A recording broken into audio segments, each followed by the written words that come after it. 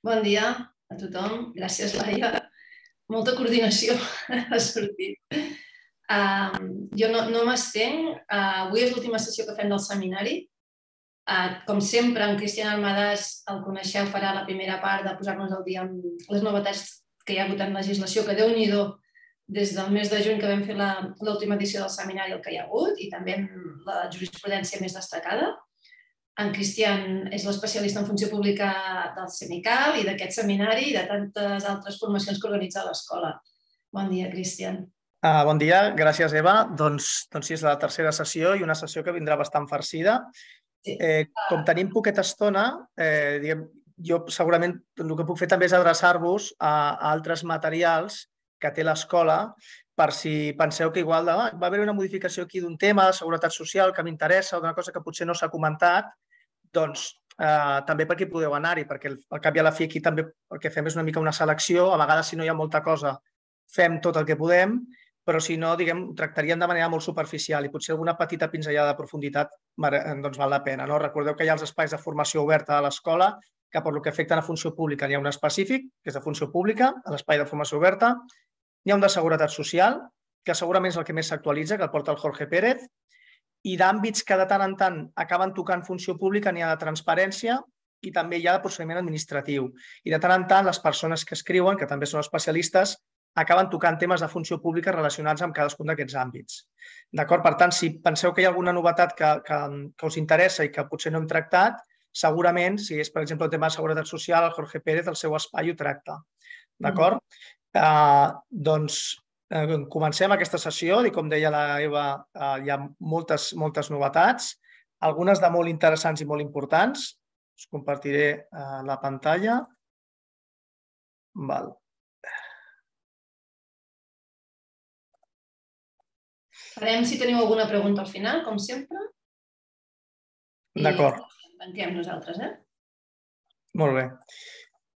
Doncs comencem les novetats legislatives, després farem la, la jurisprudència. Vist, altres sessions he fet, hem fet més jurisprudència, que potser interessant. En aquesta ocasió farem una selecció de les novetats legislatives. D'acord? Uh, ja, jo sempre tracto, si hi ha alguna cosa a la Unió Europea interessant, la tractem, però sempre és de llarg termini perquè són directives que s'aplicaran d'aquí dos, tres, quatre anys. O sigui que l'habitual és eh, normativa de la Generalitat de Catalunya, del Parlament, reglaments que pugui haver-hi de les conselleries o bé, del, o bé de l'Estat. Què, què tenim i què s'ha modificat? S'ha modificat l'Estatut dels, eh, bàsic de l'empleat públic i també l'Estatut dels treballadors en diversos aspectes. Val? Sobretot per la, eh, per la promulgació de dos lleis que tenen a veure amb la no discriminació i una altra amb la violència sexual. D'acord?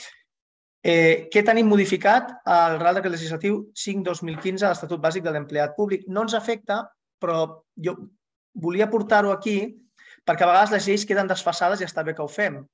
El primer que es modifica per una d'aquestes normes des del mes de juny és l'article 2.2, on es canvia un concepte sobre àmbit d'aplicació de l'Estatut Bàsic de l'Empleat Públic. Es passa de personal investigador a personal d'investigació. I això està bé que es faci no només amb això, sinó ja, ja sabeu que ara, per exemple, que s'està posant de moda per adaptar una terminologia neutra és, en lloc de parlar de funcionaris o treballadors, parlar de persones funcionàries o persones treballadores, d'acord? Perquè a vegades veiem normes molt desfasades, veiem normes que parlen de conselleries inexistents, veiem normes que parlen de conceptes que igual s'han declarat molt matisats pel Tribunal Constitucional i està bé que almenys algú es dediqui a fer una funció de depuració de conceptes dintre de normativa. Jo crec que això des del punt de vista conceptual està bé, però no seria la norma que, que ens interessaria més. Val? Sobre normes, diguem, d'àmbit ja específicament material que ens puguin afectar dintre de l'Estatut Bàsic de l'Empleat Públic, que de fet són normes que eh, s'aplicaran a partir del 7 d'octubre d'aquí tres dies, arran de l'entrada en vigor de la llei de violència sexual i orgànica de protecció contra la violència sexual. D'acord? I es toquen diversos articles reflexes de l'Estatut Bàsic de l'Empleat Públic i de l'Estatut dels Treballadors.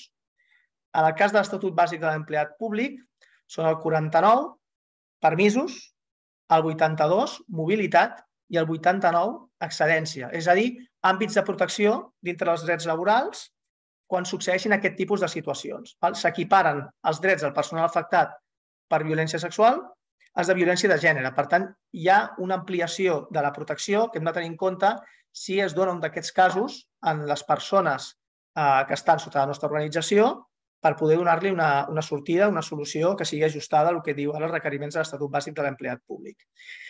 Sobre això, sobre aquests tres articles, eh, és important remarcar que la definició de violència sexual, que està a la Llei Orgànica 10-2022, és molt àmplia. És molt àmplia. Comprèn una, una, una definició autònoma de violència sexual que alhora diu que també s'entendran tot eh, aquells delictes que comprenen el títol si no recordo malament, 8 del llibre segon del Codi Penal. Per tant, els delictes contra, eh, contra el, els delictes de protecció contra la sexualitat i també hi ha al final una sèrie de delictes autònoms. Per tant, hi ha tres caixetins per entendre que es produeixen aquestes situacions. Tres. Val? I l'àmbit d'aplicació, eh, que ho diu la pròpia norma, són dones, nens i nenes. Val? Ho, ho diu ben clar, la norma. Per tant, a l'hora de que algú, si passa aquesta situació malauradament, ens ho pugui al·legar, que sapigueu que d'entrada la pròpia llei orgànica 10-2022 eh, doncs té una definició amplíssima de lo que és aquest, aquest tipus de situacions i que, per tant, hi haurem de respondre. Sobre cadascuna d'aquestes coses, què és el que significa, tampoc hi ha una modificació diguem, profunda de, de, de lo que és la normativa, sinó que el que fa és afegir-se els casos de violència sexual a regular-se com els casos de violència de gènere. És a dir, li dona el mateix tractament, li dona la mateixa protecció. Val? De fet, l'article 49 fins i tot canvia de títol, que és el dels permisos de conciliació, per violència terrorista, violència de gènere i ara s'afegeix per violència sexual. D'acord? I tota la regulació de violència de gènere sobre les faltes d'assistència que no computin, sobre el dret a la protecció integral, sobre determinats aspectes relacionats amb l'ordenació del temps de treball, l'adaptació la, de jornada, etc etc, passen també aquest tipus de situacions. Val? Simplement és un cas més que s'aplica normativa que ja coneixíem. D'acord? L'article 82, que en aquest cas és de mobilitat, també canvia el títol, s'afegeix aquest tipus de, de casos i comprèn la causa de violència sexual en la mateixa que la regulació de, de mobilitat per violència de gènere, tots els casos on la persona té dret a una mobilitat, quina és la durada mínima inicial eh, d'això i quines són les conseqüències finals sobre aquest tipus de casos. Aleshores, el que succeirà és que tenim una regulació que val per dos casos. A vegades la violència terrorista, que no, jo crec que no l'hem vist mai, s'afegeix aquest tipus i a vegades es desdobla. D'acord? Llavors s'afegeix aquest tipus de, de, de casos perquè nosaltres els puguem tenir en compte. I també l'excedència. Aquí, si us hi fixeu, anem des de les solucions més potser transitòries o més senzilles com un permís, anem a la mobilitat i acabem a l'excedència. És a dir, les tres coses, cadascuna amb una desvinculació més gran que l'anterior, per poder donar solució. L'excedència per la violència de gènere també contempla eh, aquest supòsit de violència sexual. Són els apartats 1D que anomena els tipus d'excedències i el 5 que fa el tractament específic d'aquest tipus d'excedència. Recordem que és essencialment aquest tipus d'excedència eh, l'avantatge que té és que no necessita un temps mínim de prestació de serveis perquè la persona s'hi pugui acollir i que hi ha un petit període de reserva. D'acord? Què més ha canviat? També ha canviat l'Estatut dels Treballadors, en aquest cas parlem de personal laboral.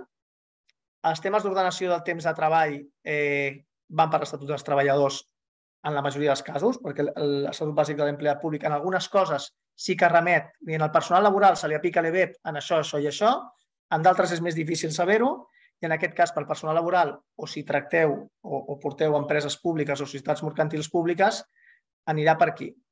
La lògica del, de l'Estatut dels Treballadors és una mica diferent. Allà teníem molt clar que parlàvem de permisos, mobilitat i excedències. Aquí es modifica l'article 37, que és vacances, permisos i jornada, és el, el títol que té, i és un article molt llarg, diguem, on es mesclen determinades coses que segurament per sistemàtica podrien refer-lo, no? aquest article. L'article 37.8, i aquí és, és més explícit perquè és un, un apartat en concret, s'afegeix el supòsit de violència sexual en els drets de reducció de jornada, reordenació del temps de treball. Val? Amb l'adaptació de la jornada, fins i tot contemplant els casos de possibilitat de treball a distància, en aquest cas, o no. També recordem que pels temes de treball a distància, per molt que ho digui aquí, dic, mira, es pot fer una reordenació de treball a distància. Pel personal laboral no s'aplica la llei de treball a distància al sector privat. Val? Això ja, ja ho deia la, la, la normativa. Per tant, aquí hem, hem de vigilar quan, quan tractem aquest cas. L'article 44 que seria el germà d'aquest que hem vist de mobilitat, però aquí parlem de mobilitat geogràfica. No és exactament el mateix concepte, la mobilitat, evidentment, funcionarial, que una mobilitat geogràfica del sector públic. I més, la mobilitat geogràfica d'ajuntaments, que és moltes vegades impossible. Per tant, en alguns casos, que pot ser entitats potser una mica més grans que podrien arribar a fer, com diputacions, consells comarcals, o si parlem de la Generalitat de Catalunya, però per nosaltres, pels ajuntaments, que sou la majoria, aquest article doncs, esdevé una mica inaplicable per la mobilitat geogràfica en aquests casos. S'introdueix la violència sexual per la mobilitat geogràfica i aquí sí que es canvia una petita part de la regulació, que és que la durada inicial del trasllat que es pugui fer per mobilitat geogràfica, que abans era de eh, mínim de 6 mesos, ara es pot, pot ser entre 6 i 12 mesos. Entre 6 i 12. S'ha ampliat una miqueta més. S'ha considerat que era insuficient Sis mesos és un període relativament curt i aquí es dona uh, una miqueta més de, de marge. Val? I què s'afegeix de nou? I això és un àmbit objectiu. S'introdueix el dret a extingir el contracte de treball després del període inicial a una indemnització equivalent al acomiadament objectiu, 20 dies per any de servei. Val? I clar, si parlem dels temes de violència sexual, violència de gènere, en aquest cas, no té res a veure amb el que passi dintre la nostra organització. Això és objectiu. Això si la persona està afectada per una situació d'aquestes, que la majoria dels casos o no, pot ser l'organització, pot ser fora. Val? Per tant, és una protecció objectiva que dona, que dona la norma. Dona la norma.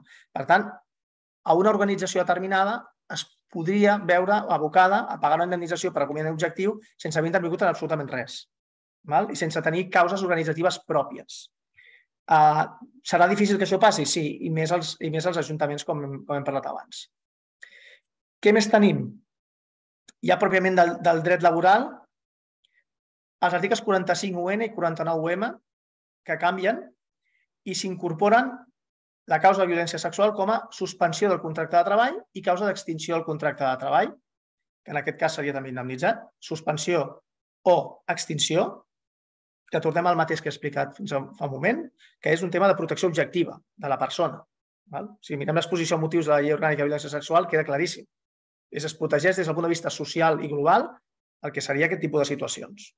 Val? I els articles 53, 4b i 55, 5, que és sobre quan es consideren nuls els acomiadaments objectius. Quan la persona hagi activat els mecanismes de protecció integral o bé la tutela judicial efectiva, és a dir, que hagi ja reaccionat per un tema de violència sexual i hi ha un acomiadament objectiu, es considera nul. Val? Es considera nul. I l'acomiadament disciplinari exactament el mateix, el, el mateix cas.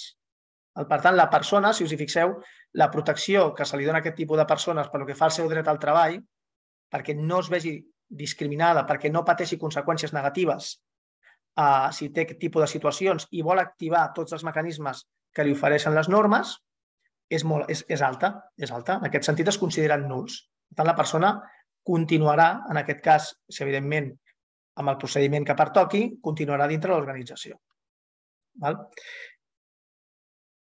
També es modifica, i això vull, vull fer un petit incís, la llei de procediment administratiu, un nou apartat 3 bis a l'article 77 que informarà tots els procediments administratius, també els de personal, però és important tenir-lo en compte. En aquest cas, aquest article 77 3 bis està dintre dels mitjans de prova de la fase d'instrucció. Val? Està ubicat allà. No parlem de la resolució administrativa, sinó aquí parlem de la fase de prova. Val? Però és important tenir en compte per tot tipus de procediment de personal, com podria ser un disciplinari, on la persona podria dir que se l'està discriminant pel que sigui. D'acord? Uh, o, o, per exemple, perquè demana uns ajuts socials determinats, els tenim configurats d'una manera que la persona, pel que sigui, no té dret i diu que se l'està discriminant per una situació uh, en concret. Val? Per tant, la persona, si aporta uns indicis fundats sobre eh, la discriminació, correspon a la persona que s'imputi la situació l'aportació d'una justificació objectiva i raonable, prou provada de les mesures adoptades. Clar, aquí, si us hi fixeu, diu la persona que s'imputi, que pot ser l'organització, que en recursos humans seria lo, normal, com pot ser una tercera persona. Val? Aquí no estem circunscrits. Diu la persona que se l'imputi. No estem parlant d'un acte administratiu, que llavors és la pròpia organització. Diu la persona que se l'imputi. Significa això que abans no es podia fer, al·legar discriminació? Sí que es podia fer, sí que es podia fer per l'article 14 de la Constitució. El que passa que ara aquesta llei d'igualtat estatal el que fa és posar-ho dintre el dret positiu dintre de diversos articles de diverses normes. Abans hauria d'anar jo per l'article 14 de la Constitució, per la doctrina de la no discriminació, per la jurisprudència que tingués i per les pròpies normes escrites que hi havia. Ara s'incorpora dintre, sense perjudici de que ja sabeu que a Catalunya hi ha una llei d'igualtat i no discriminació. Val? I ara ja tractem normativa catalana, una modificació molt important del decret legislatiu 197, que és el text únic de funció pública, que afecta directament a les entitats locals. A les entitats locals per lo que seria a diversos preceptes.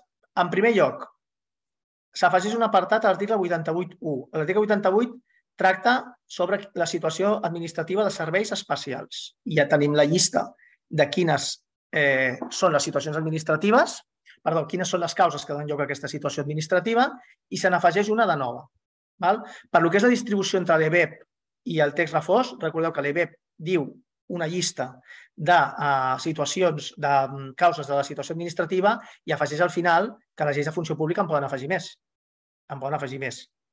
Llavors s'afegeix una nova, que és uh, els contractes d'alta direcció en el sector públic institucional o com a màxims responsables de programes en l'àmbit d'administració o el sector públic institucional. Val? Sempre i quan facin funcions d'alta direcció, i funcions directives, segons la les seves normes d'aplicació. Això és el que diu aquest, aquest article 88.1. L'exposició de motius d'aquesta modifi modificació el que diu que, que és per donar cabuda a l'execució del programa Next Generation. Per tant, ho lliga molt a la Generalitat, com dient, és que necessitem persones capaces d'alta direcció que puguin dur a terme la gestió d'aquests projectes tan importants i que, per tant, es puguin moure per tot el sector públic institucional. Eh, després la normativa no, no ho talla a, a Generalitat de Catalunya, ho justifica amb Generalitat, però això s'aplica a tothom. Això s'aplica a tothom. I recordeu que sector públic institucional comprèn, comprèn societats mercantils públiques. Val? No diu administració institucional, diu sector públic institucional. Per tant, el que es pretén és que sigui una mica omnicomprensiu. Val? Per tant, que els funcionaris amb una sèrie de coneixements, capacitats, el que es determini que eh, passin a, al sector públic institucional, que no sigui igual l'administració en si, el nucli, que puguin tenir serveis especials amb una sèrie de prerrogatives que després eh, conservaran i que ara veurem. Què es modifica també? L'article 88.2, i en aquest cas, són els efectes de la declaració de situació de serveis especials. I es clarifica una cosa abans, el que dèiem d'intentar que l'ordenament jurídic estigui bé. Abans es referia a la reserva de plaça això.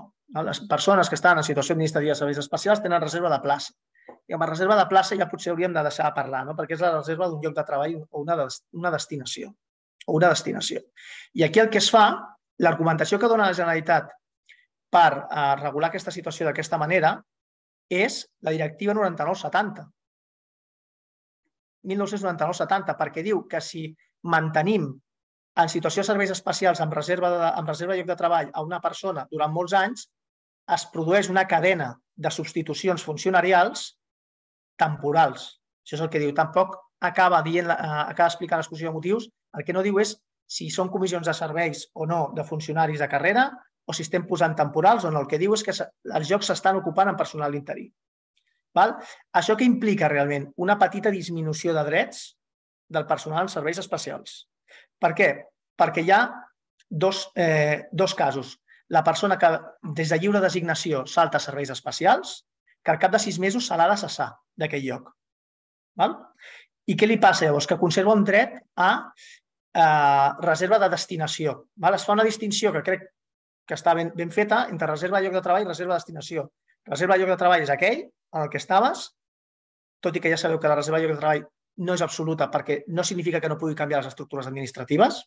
I la reserva de destinació, val? Eh, el que significa és que tinc que reingressar o tinc dret a la reserva d'un lloc del mateix nivell, retribucions, localitat, etc etc. però no el mateix, no el mateix. Si el lloc del que vinc, abans hem parlat de designació, ve de concurs, tinc una reserva per 4 anys. Per 4 anys. I després tinc reserva de destinació. Reserva de lloc de treball 4 anys, reserva de destinació a partir dels 4 anys. A partir dels 4 anys. Per tant, allò no és allò que li passava, que, que ho vam veure, el, que va ser el, el Rajoy, que com es va dedicar a la política tota la seva vida, a la que va decidir deixar-ho, tenia una reserva de lloc de treball. Si li passés ara això i volgués tornar d'aquí 30 anys, hauríem de veure on el posem. No?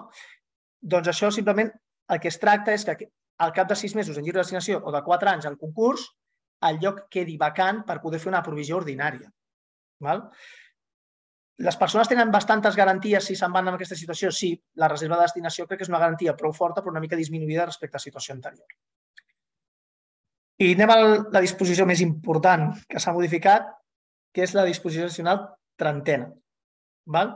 És una disposició molt novedosa que intenta donar solucions a, la, a el que és l'accés mitja, l'accés mitjançant personal laboral fix o funcionari de carrera, intentant veure quines escletxes les ofertes públiques poden tenir en relació amb la taxa de reposició. Ja m'explico. Què regula això?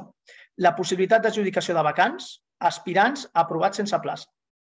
Val? Que això és, és habitual, que pot passar sobretot a administracions grans, gent que no entra no, perquè en termes relatius hi ha competidors que ho han fet millor, però en termes absoluts es considera que han passat els exàmens. Val? De manera que poden ser nomenats funcionaris i funcionaris de carrera a càrrec de les ofertes públiques d'ocupació dels dos anys següents dels dos anys següents. Val? No és aplicable a processos d'estabilització de la llei 2021 i això ho diu de manera expressa aquesta disposició addicional trentena. I ho diu per un motiu molt clar, perquè la llei 20, 2020, eh, 2021 regula amb caràcter bàsic què passa en les situacions d'aspirants sense plaça, que és que integren una borsa, com a molt. Per tant, jo penso que per... Imaginem que la, la, la Conselleria dona sortit l'impuls d'aquesta norma, Mm, doncs igual va valorar posar-ho, eh, jo crec que xocava frontalment amb la llei 20 2021, perquè el caràcter bàsic diu que se'n van a borsa temporal. Se'n van a borsa temporal. No poden anar a una adjudicació posterior a compte d'ofertes públiques. D'acord? Llavors, a mesura que es vagin produint les taxes de reposició d'anys següents, és quan es podrà produir el nomenament. L'any següent i l'any següent. Val? Per tant, el que podria fer amb aquest tipus de, de persones és un aprovat sense plaça que primer per necessitats del servei passa a ser interí i l'any següent, amb la nova llei de pressupostos, si es dona la situació que descriu la norma, agafar aquella persona i nomenar-la funcionària de carrera. Val? I el màxim que duren aquestes, eh, diguem, borses d'aspirants a funcionari de carrera, per dir-ho d'alguna manera, és tres anys. Els tres anys es talla. Val? És rellevant, però té, té problemes eh, aquesta, aquesta norma. En primer lloc, l'Estatut Bàsic de l'Empleat Públic diu que les convocatòries puc afegir un 10% respecte de les places aprovades a oferta pública a, per possibles eh, a nomenaments posteriors de funcionari de carrera mm, de personal laboral fix. Quin problema hi ha aquí? Que aquí no es diu cap percentatge ni, ni cap número de res. Per tant, és una norma que no m'atreveixo a dir que sigui inconstitucional perquè pot ser objecte d'una sentència interpretativa dient que està molt bé sempre i quan es respecti el 10%. Es pot dir que no perquè l'Estatut Bàsic de l'Empleat Públic diu ben clar que és un 10% i aquí no ho diu. D'acord? O, tercera opció, cosa que jo crec improbable, és dir que sí que endavant, que aquesta norma és completament constitucional i no cal que sigui un 10%. Si vols fer un 40% d'aspirants a compte l'any següent i anar-los posant, doncs ho pots anar fent crec que aquesta opció és arriscada. És arriscada a, apostar per això. Val? Eh, és l'aspecte segurament més problemàtic de, de la norma. Com queda el 10% de l'Estatut Bàsic de l'Empleat Públic, que diu que com a màxim podem augmentar la convocatòria respecte a les places de l'oferta, aquí que no hi ha un número exacte. Val? Com queda? I tinguem en compte també que diu que aquestes borses o aquest tipus d'aspirants duren com a màxim 3 anys o si hi ha una oferta o si hi ha una convocatòria de la mateixa, de la mateixa especialitat abans. Llavors, té un període d'esgotament, que són 3 anys. Clar, això hem de mirar quina relació té amb les borses que tinguem anteriorment. Tampoc diu que això serveixi per interins, per tant, ho haurem de posar a la convocatòria. Dic, bueno, jo ho poso i dic, si és per interins, servirà per interins. I si la taxa de reposició de l'any següent no dona, doncs es quedaran com a interins com a molt el termini que diu l'EBEP, que són 3 anys. Val? Llavors hem de relacionar això també amb el Real Decret aquell de tamaris mínims que diu que tenen preferència per ocupar places d'interins, i això ho ha dit el Suprem farà un any, un any o dos, les persones que hagin passat proves de carrera, almenys per lo que fa als funcionaris. Eh? Ara, parlem de, ara parlem de funcionaris. Quina relació poden tenir aquestes dues normes? Eh, això és una solució creativa que pot a donar lloc diguem, una major eficàcia i eficiència del procés, és a dir, que amb un sol procés selectiu derivat d'una sola oferta pública cobreixo dos o tres anys. Respectant els principis d'igualtat, mèrit i capacitat i la seguretat jurídica perquè ja hi ha una norma que ho diu i ningú podrà dir després és que mm, la convocatòria no només per un any, s'han de fer convocatòries recurrents. Val? Aquí ho tallen tres anys, cosa que segurament és una, una bona solució, però té, tindrà problemes de constitucionalitat. Aquesta norma eh, molt, molt em temo. Val? I totes aquestes normes s'han vist afectades per aquestes dues que us he dit abans i perquè hi ha aspectes d'ocupació pública també que no, que no tractarem. En aquest cas sí que us remeto als, de, als dos darrers butlletins del CEMICAL on hem explicat les, els temes d'ocupació pública que no han modificat pròpiament les normes anteriors de la Llei Orgànica 15, Llei 1522 i Llei Orgànica 10 2022, on hi ha aspectes sobre uh, protocols que pot haver-hi en relació amb aquest tipus de situacions, uh, l'obligació de no discriminar uh, per part de les administracions públiques en l'accés per temes d'igualtat, etc etc. Estan aquí també. Val? Hi ha quatre o cinc articles de cadascuna d'aquestes normes que a l'hora de fer, diguem, per exemple, el procés selectiu, doncs, hem de tenir en compte. I també es volia portar, diguem, aquí com a element el decret llei 10-2022, val? que és, és només una curiositat, que és que aquest decret llei 10-2022 que modifica un del 2018, eh, el que es preveia aquí era que una concessionària de la Generalitat de Catalunya que eh, tot el personal se subrogava i se n'anava a una entitat pública de la Generalitat. I en aquesta norma de creació d'aquesta entitat pública de la Generalitat, el que es deia és que el personal que venia del sector privat d'una concessionària passava com a personal indefinit no fix. Val? El, sector, el sector públic, en aquest cas una empresa pública. Aquesta norma, que diu passa com a personal indefinit no fix, es deroga per aquest decret llei 10-2022. Per què? Per la jurisprudència del Tribunal Suprem, que diu que les persones que són contractats indefinits al sector privat, quan es produeix una subrogació al sector públic, no poden passar com a, com a laborals temporals, sinó que han de passar en la mateixa condició, que és personal laboral fix, amb l'única condició que és sectorialitzat, és a dir, dintre de l'àmbit en el qual prestaven serveis a la, en aquella empresa. És a dir, no poden sortir en principi, tot i que és una mala solució, de l'àmbit d'aquella empresa. Val? I això, que és una solució, no, és que no es pot entrar com a funcionari a carrera o laboral fix si no és amb les proves. Dic, sí, segurament sí, però aquesta excepció que és l'única que trobo jo que l'ordenament jurídic i que els tribunals estan acceptant de manera natural, val? del personal subrogat. Recordeu que això també es va fer amb ensenyament fa quatre anys. Tots aquests eh, centres concertats que financerament no anaven molt bé, la Generalitat els hi va oferir la possibilitat a les escoles de passar a ser una escola pública val? i el personal es declarava personal fix extingir. Val? Subrogat fix extingir. En aquest cas, doncs, eh, s'ha fet de la mateixa, la mateixa manera. Val? Sobre novetats jurisprudencials, val? us porto tres sentències i amb això ja, ja farem. Personal funcionari en tenir provisió de llocs. Val? Aquesta sentència a Catalunya 25 de març de 2022, redactada horrible, horrible, que ha donat lloc a notícies de Diari 16 o de Confilegal, per si algú segueix premsa especialitzada en sector legal, on diuen se permite la promoción interna de los funcionarios interinos, cosa que és mentida, tot i que la sentència sembla que ho digui. Val? Aquí de què es tracta? Es tracta d'una persona que, va, uh, que, es va impugnar un procés, select, un procés actiu, perdoneu, una provisió ordinària, un concurs, perquè la persona que volia concursar era, era interina. Era interina, els concursos, els interins no, no, no hi van. Llavors va dir que l'estaven discriminant i volia concursar.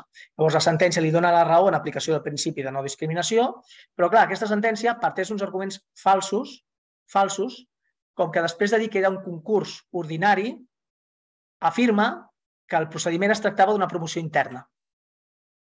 Val? Des del punt de vista genèric, podem dir promoció interna a una persona que vol concursar un lloc des del nivell 20 al 26?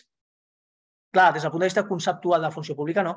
I estem en una sentència, no, no estem en un diari. Val? Però deia aquest procés és un procés de promoció interna. Dic, no, no és un procés de promoció interna. Per tant, s'està confonent a la gent. Això és un tema de concurs ordinari. Val? I també agafa els arguments de la carrera horitzontal, la carrera horitzontal de professors d'universitats, que bàsicament és aquells trams i aquells sexenis en virtut del qual fan una carrera i tenen doncs, uns complements que se'ls afegeixen en funció de, de determinades actuacions com investigadores, i no, escolti, com és promoció interna i amb la carrera horitzontal ja ho vaig dir, i això no deixa de ser una cosa de carrera, eh, doncs, evidentment, les persones, els funcionaris interins tenen dret a, la, a els concursos. Val? Dic, home, dic, jo crec que es podria haver comentat que era així, però crec que s'utilitza una sentència que no té res a veure i un concepte que no té res a veure per una conclusió que de casualitat pot ser vàlida. Val? La casualitat pot ser vàlida, però el cert és que aquesta sentència diu això. Val? Clar, això obre la porta a altres coses, com per exemple, una cosa, aquí parlen del concurs ordinari, però m'estan dient que en virtut d'aquesta argumentació les lliures designacions també les he d'obrir a interins, que les adscripcions temporals de tota mena com comissions de serveis també les he d'obrir els interins, val? genera dubtes, i més quan eh, aquesta sentència contradiu frontalment frontalment una del Suprem de l'any passat, on diu ben clar que la carrera vertical, la promoció interna, és discutible l'argument, però ho diu. Són condicions inherents a, la, a, a ser funcionari de carrera, però no són condicions de treball. No són condicions de treball. Per tant, el funcionari interí no té dret a la, a la promoció interna, a la mobilitat vertical ni a la mobilitat horitzontal, perquè no són condicions de treball. Això diu el Suprem. Doncs aquesta sentència de Catalunya sembla que no la conegui. Sembla que no la conegui. Val? Per tant, a l'hora de fer aquesta anàlisi, eh, confronteu les dues sentències quan tingueu un interí que en les provisions us vol participar, perquè, malauradament, tot i que la sentència del Suprem és molt discutible en quant als arguments, crec que és més argumentada i va per sobre de la, la, de, la, la de Catalunya, mentre no ens diguin el contrari. Val? Sobre permisos, un tema que genera mm, rius de tinta i problemes i hores de recursos humans de per què porto quatre hores amb aquest tema, a vegades. Permís de cura familiars i reducció de retribucions. Val? Antecedents sobre aquest tema. Recordeu que hi havia... Eh, estem parlant del permís de reducció de jornada amb retribucions o sense. Aquí està la discussió. Val? Sobre aquest assumpte, hi ha un informe de la Direcció General de Funció Pública, que segur que heu tingut tot accés de fa diversos anys, on diu que la llei de conciliació, quan parla d'aquella reducció de jornada del 80, del eh, dos terços amb 80% de retribucions o la meitat amb el 60, és a dir, retribució per sobre de temps de servei, és perfectament vàlid. Val? I l'Estatut Bàsic de l'Empleat Públic no contradiu l'EBEP, cosa que jo crec que és veritat, val? Que, que, que hauria de ser així. Per contra, la sentència aquesta de l'any 2017 del Tribunal Superior de Justícia de Catalunya diu ben clar que si una persona s'acull a una reducció de jornada per cura de familiars és amb reducció proporcional de retribucions. Val? Jo crec que és erroni, perquè quan, eh, entre altres coses, quan el, la normativa diu que la reducció és proporcional, ho diu expressament. I en aquest cas, l'Estatut Bàsic d'Empleat Públic diu reducció que corresponda. Si hagués volgut que fos proporcional, ho hagués dit, perquè ja ho diu en altres normes. Val? Però bueno, és la interpretació que es fa, que va, evidentment, per sobre de la meva. I això es veu reforçat, aquesta interpretació del Tribunal Superior de Justícia de Catalunya, amb una sentència del Tribunal Suprem val? Uh, de 29 de juny de 2022. En aquest cas, uh, es tracta del decret valencià sobre el, la jornada i horari dels, dels funcionaris, val? decret 42-2019 de la Generalitat Valenciana. Hi ha diferents tipus de reduccions de jornada que no coincideixen exactament amb la llei de conciliació nostra els que donen dret a no pèrdua retribucions i els que sí que hi ha eh, pèrdua proporcional. Aquest cas en concret és una persona que encaixa dintre el supòsit que és tenir més d'un fill menor de 12 anys, dos o més. Si és un, hi ha reducció proporcional, si és dos, no hi ha reducció proporcional. Val? Es mantenen les retribucions amb reducció de la jornada d'una hora. Val? No és exactament el mateix cas que tractem amb la llei de conciliació, però els arguments són inapel·lables per lo que fa l'article 48 de l'Estatut Bàsic de l'Empleat Públic. Diu ben clar, tampoc és que ho argumenti molt, que el precepte suposa la prescripció de l'article 48 de l'EBEP, que és que la reducció és proporcional a la reducció de jornada que tu hagis fet. Per tant, abans ho va dir el Tribunal Superior de Justícia de Catalunya.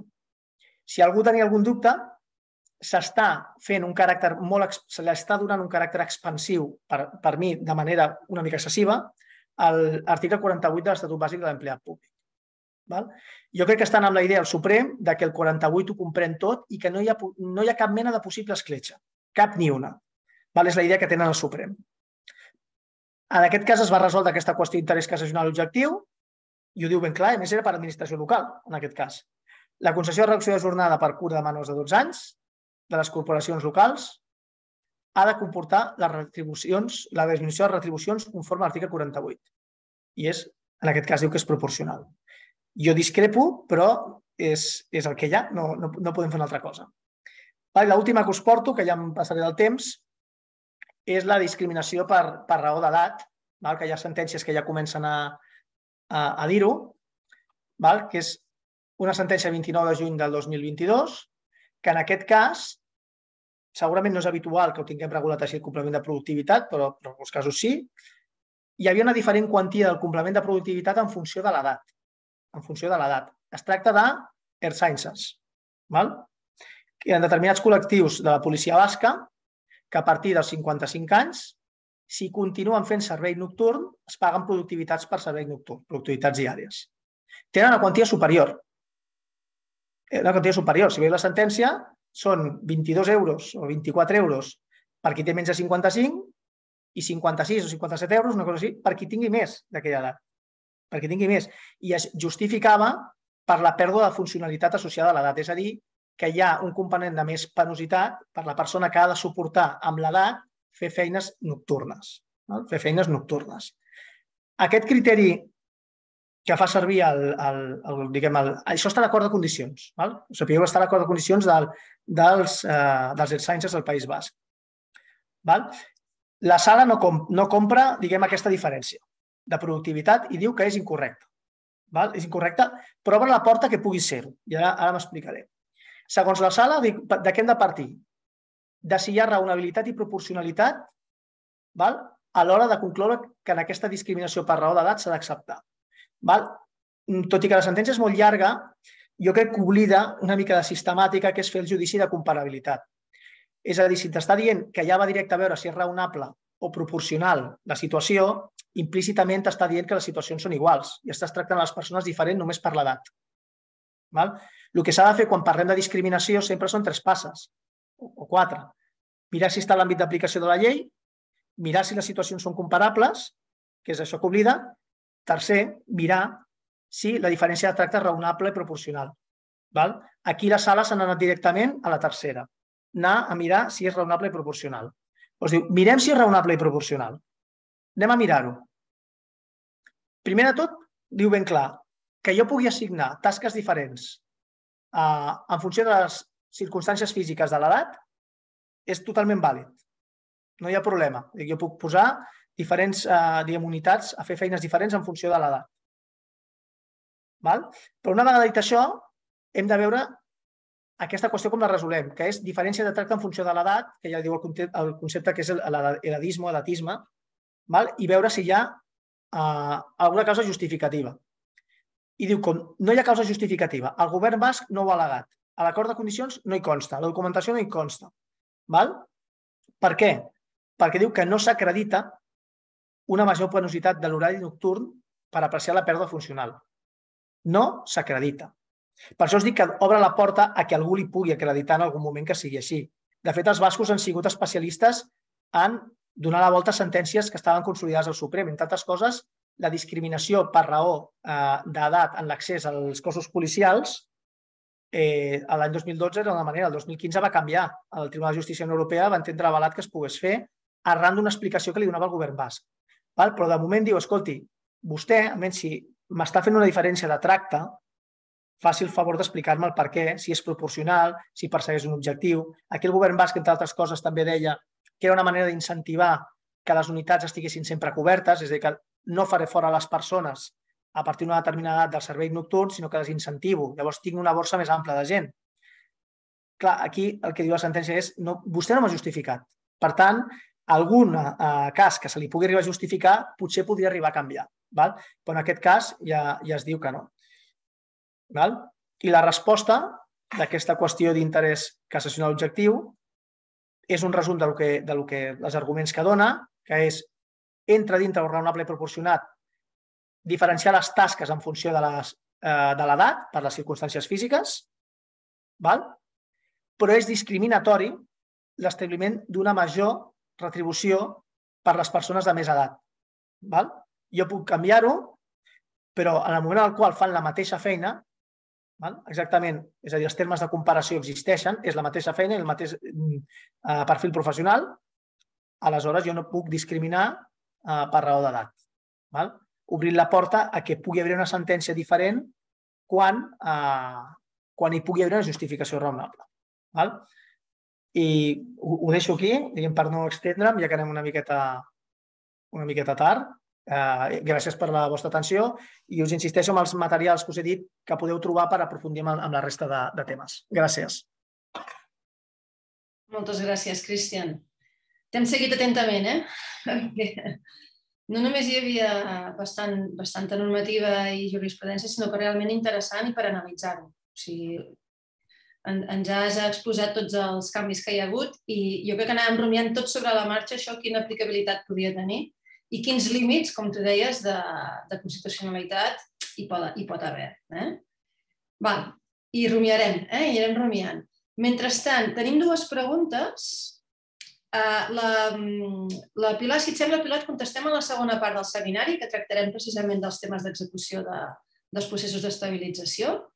I llavors ens preguntaven també, en relació al nou supòsit de serveis especials que ha introduït el, ha introduït el legislador català en el decret legislatiu 97, si també seria d'aplicació en el cas d'un gerent d'un Consell comarcal, eh? si fem una interpretació àmplia. Clar, aquesta figura estranya que encara perviu que hauríem de, que hauríem de canviar-la, la regulació, perquè cada vegada és més anacrònica.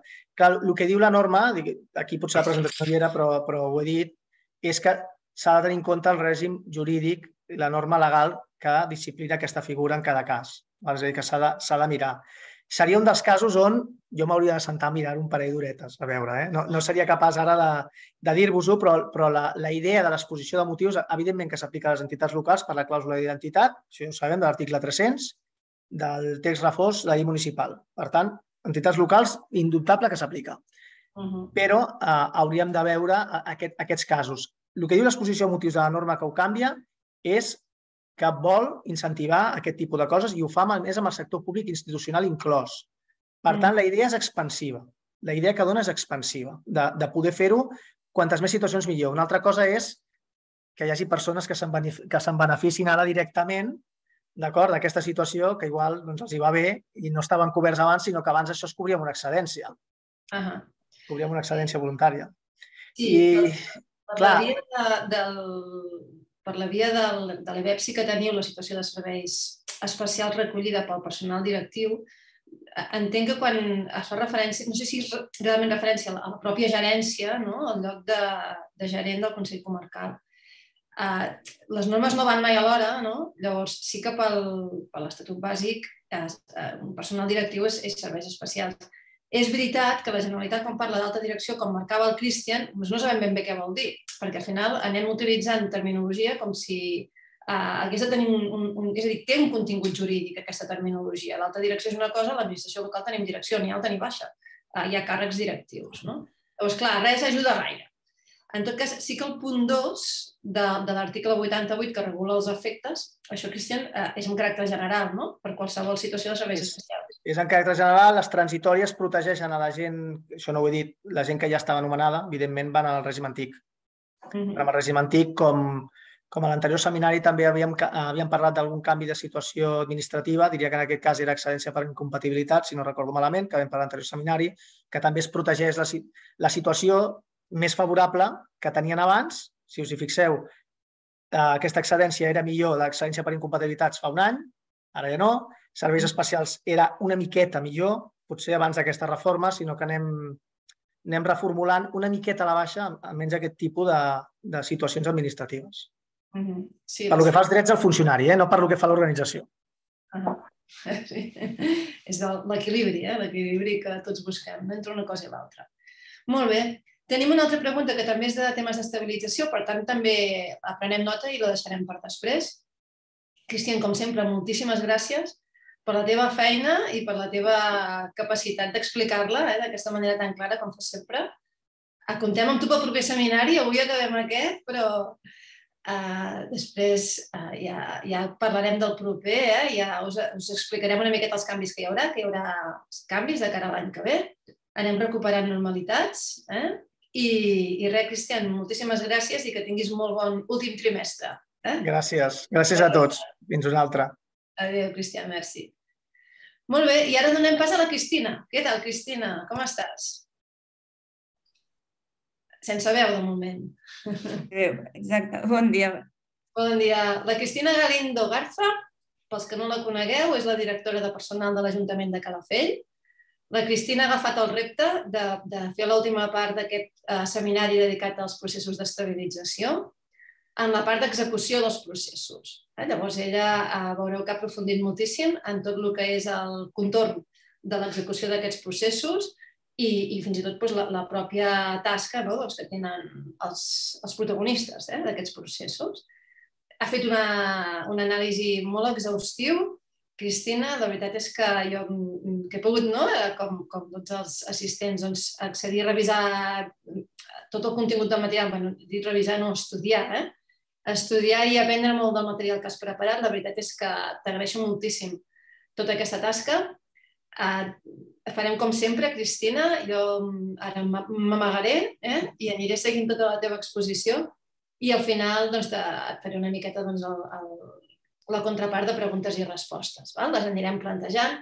Alguns de vosaltres ja ens les heu enviat per correu electrònic. Sempre us agraïm que dediqueu uns minutets a fer-ho perquè així també ens ajudeu a, a focalitzar la ponència en aquests aspectes que us han generat més dubtes i els resoldrem també al final, eh? juntament amb els que ara podeu anar plantejant.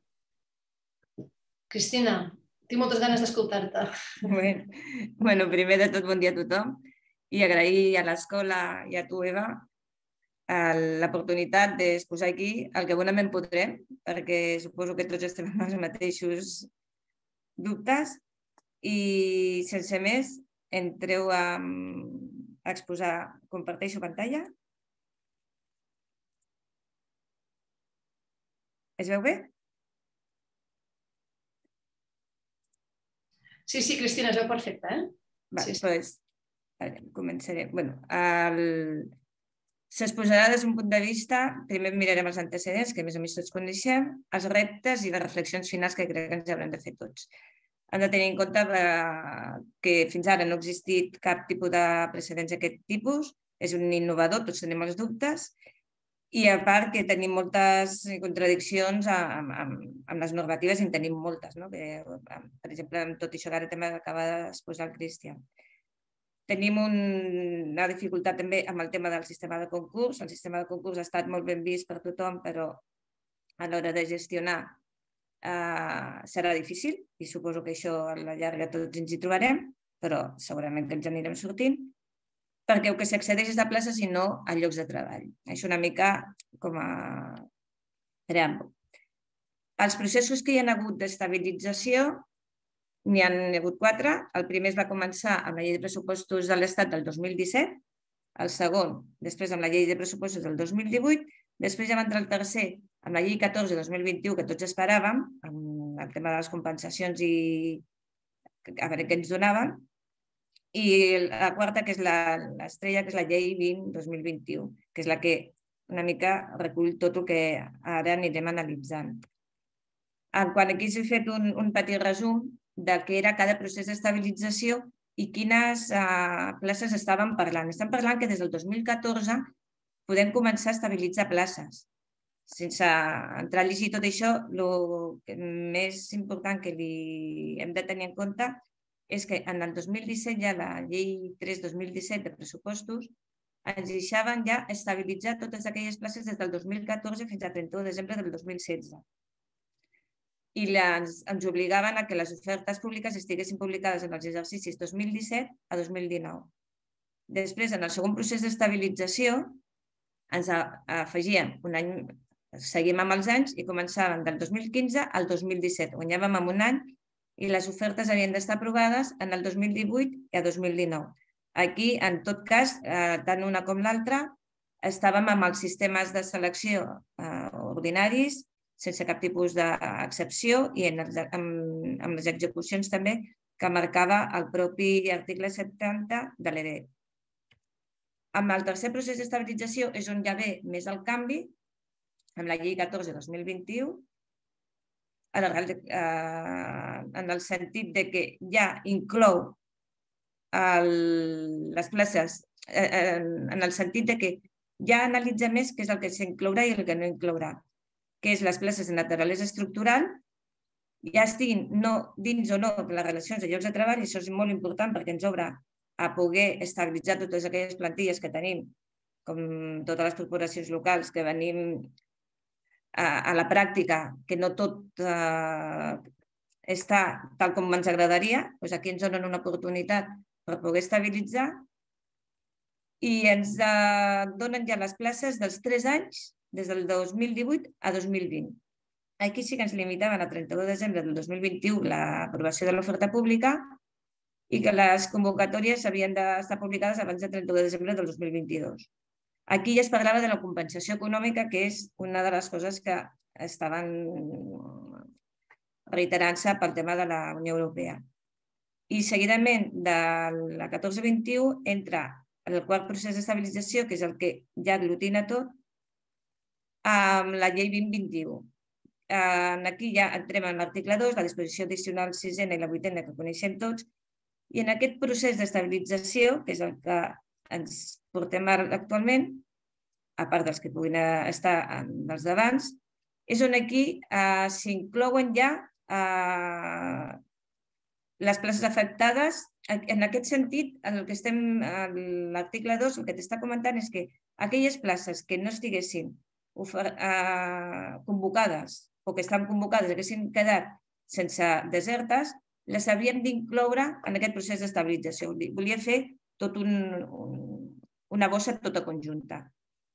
Uh, això ha sigut, entenc, una opinió personal, però entenc que a l'hora de gestionar ha estat molt més fàcil si no les teníem convocades. Si les estaven convocades és quan tenim diferents mm, fronts oberts que anirem resolent ara al llarg d'aquests reptes de, del 2 d'avui.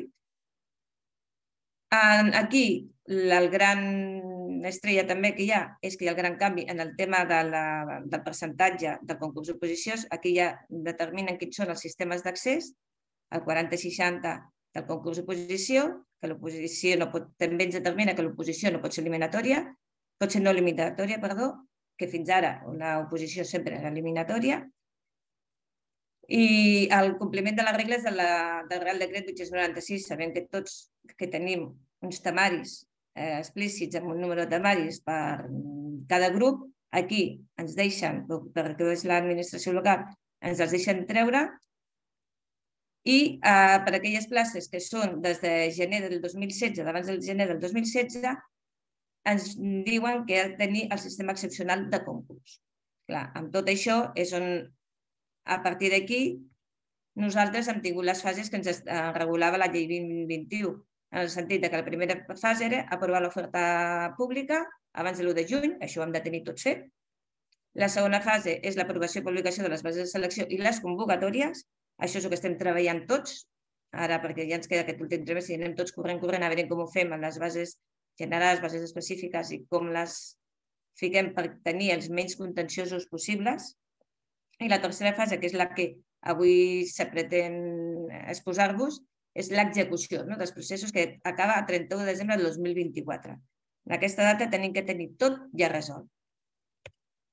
Doncs, el primer que hem de tenir clar és que plaça, lloc i persona empleada són coses diferents i això no, no retiraré perquè s'ha dit moltes vegades en les altres ponències dels altres dos sessions del seminari ja s'ha comentat. I així t'ho diu molt clar l'article 2 quan diu que es, es tindrà en compte l'experiència en el cos escala categoria equivalent que es tracti. I en les disposicions addicionals sisena, també fa referència a places, la disposició addicional vuitena ja seria més qüestionable que faci referència a places perquè se'n fa referències a persones, és aquella barreja que no sabien massa com interpretar la disposició addicional vuitena, però bueno, acabaran de resoldre en tot cas el que siguin els tribunals. I a partir d'ara eh, anem a fer una mica això, no? preguntes i respostes, a veure si som capaços de, de poder-los mm, trobar una solució, almenys la, la que es considera més, més encertada. La, aquests reptes que ens trobarem serien sobre la possibilitat d'externalitzar l'execució dels processos selectius. Un, ens trobem en què tenim una gran tasca, a part de la treball ordinari, i ens preguntem si podem externalitzar aquesta tasca a tercers. Aquí eh, anem en compte perquè eh, hi ha matisos, anem, anem veient. A l'article 2.4 de la llei 20 te diu que es poden articular mesures que possibilitin una coordinació entre les diferents administracions públiques. L'administració de, de l'Estat ja té una comissió permanent en, quan, en aquest sentit. I la disposició addicional primera de la llei 20 te diu que els municipis que accepta, fa l'excepció en els de gran població, que poden encomanar la gestió de material de la selecció per personal funcionari o laboral fix a diputacions, cabides, consells, en eh, supramunicipals, o sigui que podem, es poden externalitzar en aquest sentit. Aquí el, la, ens trobem amb, en que les diputacions, l'escola i en el seu cas no eh, es trobaran en que si tenen molta petició no podran donar la base, amb la qual cosa aquí ja queda a veure com, com ho poden gestionar. Suposo que ja deuen estar patint insuficient. La pregunta que ens fem, externalitzar el procediment de selecció a empreses privades especialitzades mitjançant contractes menors? Qui anem en compte? Perquè no amb matisos, en el sentit de que els òrgans de selecció poden tenir, o sigui, que és l'òrgan, els tribunals de selecció que coneixem, poden tenir personal col·laborador i personal especialista per dur temes proves de, de selecció, tota cosa és el procés selectiu però la competència d'avaluació no hem de perdre de vista que sempre serà del tribunal. En aquest sentit, hi ha diferents sentències que mm, regulen que sempre la competència i sempre la, qui té la facultat per mm, valorar i avaluar el procés de selecció és el tribunal i que sí que pot demanar ajuda, però anem al tanto, pot demanar ajuda, però no li pot donar té ho fas tot tu i després ja me dius el que he de fer, que jo ja signaré. Això és el que no, és el que no es podem fer. Aquí trobem una sentència del TCJ de Catalunya, que és més antiga, del 2003, eh, fa repetir la prova de l'aspirant a presència del Tribunal Qualificador. Es tractava d'un sergent dels Mossos d'Esquadra que es queixava de que bueno, de que no havia estat el, a l'entrevista, no havia estat cap persona del tribunal, no havia estat el tribunal en si, i que s'havia qualificat simplement per la valoració que havia fet aquella empresa.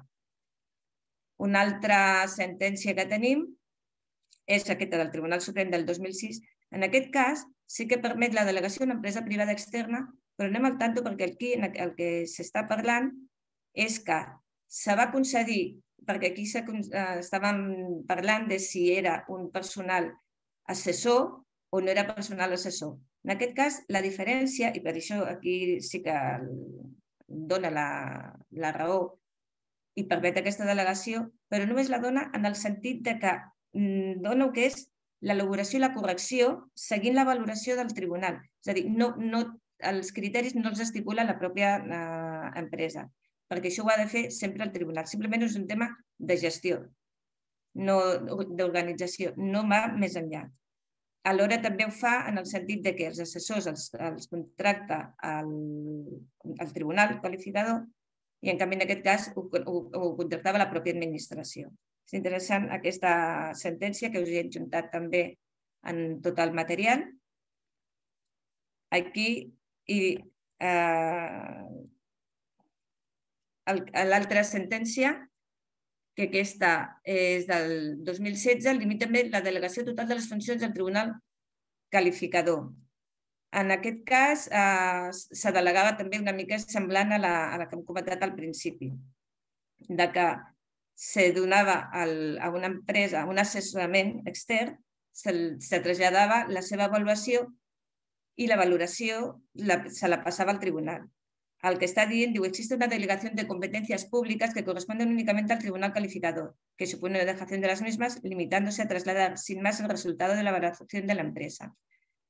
En aquest cas, eh, el tribunal diu, és el que comentem, no? és una mica en, aquest, en aquesta línia, és el que estan dictant totes les sentències, que es pot sol·licitar assessorament per una determinada matèria de procés selectiu, però el que no pot fer és donar-li l'atribució o la competència plena i després que se fiqui el, el resultat ho avali o ho refrendi al tribunal.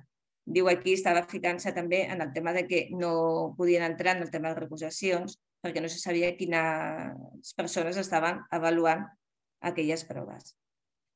Amb la qual cosa, el tema de, sobre la possibilitat d'externalitzar l'execució dels processos selectius, hem de tenir en compte que podem tenir personal col·laborador, podem tenir assessors, que sempre serà el tribunal, el, el personal col·laborador ho pot, serà qui l'empresa, en aquest cas l'Ajuntament, qui demanarà aquesta, aquesta col·laboració, aquests, aquests ajuts, si són de volums molt, molt grans, haurem de buscar la vida, no?, d'alguna manera, però el que és ja el procés selectiu, que és l'avaluació, eh, només podem buscar assessors, per exemple, amb la prova català és un clar exemple, unes proves de, dels psicotècnics i mèdiques, perquè clar, el tribunal no està qualificat per això. En la qual cosa eh, tinguem en compte aquestes limitacions perquè alguna vegada, a mi se m'havia plantejat algun, algun ajuntament havia plantejat, escolta, si ho externalitzo tota una empresa, com ho faci? Perquè és que tinc un volum i amb la feina que tinc no dono l'abast. Doncs en aquest cas hauria de ser no en sentit absolut. Sobre els òrgans de selecció. Aquí se recomano la lectura del Manual d'Òrgans de Selecció dels ens locals, que va fer, està elaborat per Josep Mai i la Comelles pròpiament també.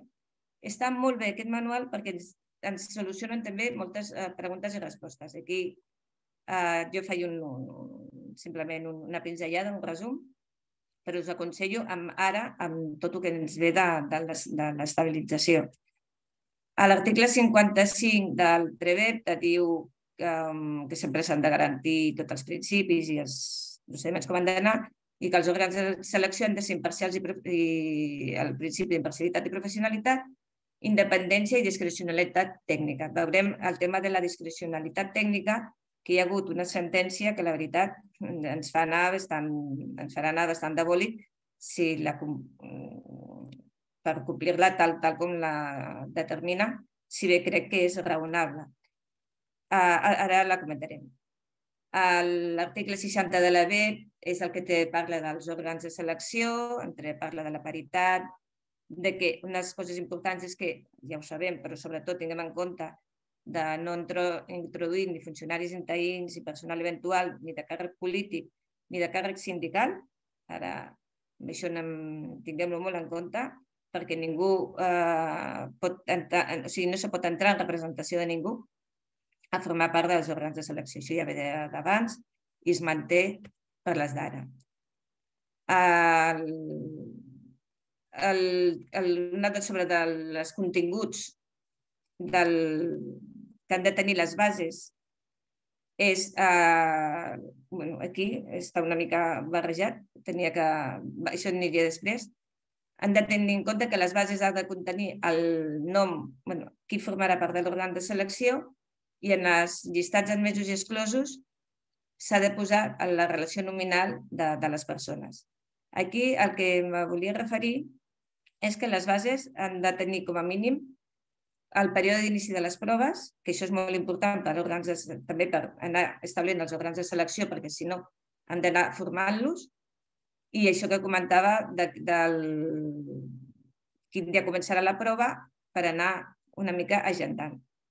Aquí ens trobarem amb problemes i per això hem de ser curosos a l'hora de planificar, perquè el, entre que tenim la majoria de personal interí, tenim personals temporals, de personal de carrera, hi ha administracions que l'estabilització és més àmplia, altres més fluixa, però eh, han de formar aquests òrgans de, de selecció. L'Escola d'Administració Pública també haurà d'enviar de, de, tota la part que, que li sigui demanada, perquè ha de formar part també dels òrgans de selecció, i els centres de normalització lingüística, que suposo que ja us haureu trobat que us estan demanant que feu una planificació per saber ells dels personal que disposen i poder donar servei a totes les proves de català que es puguin dur a terme. Doncs, en aquest cas, eh, hem de ser molt curosos a l'hora de fer la planificació.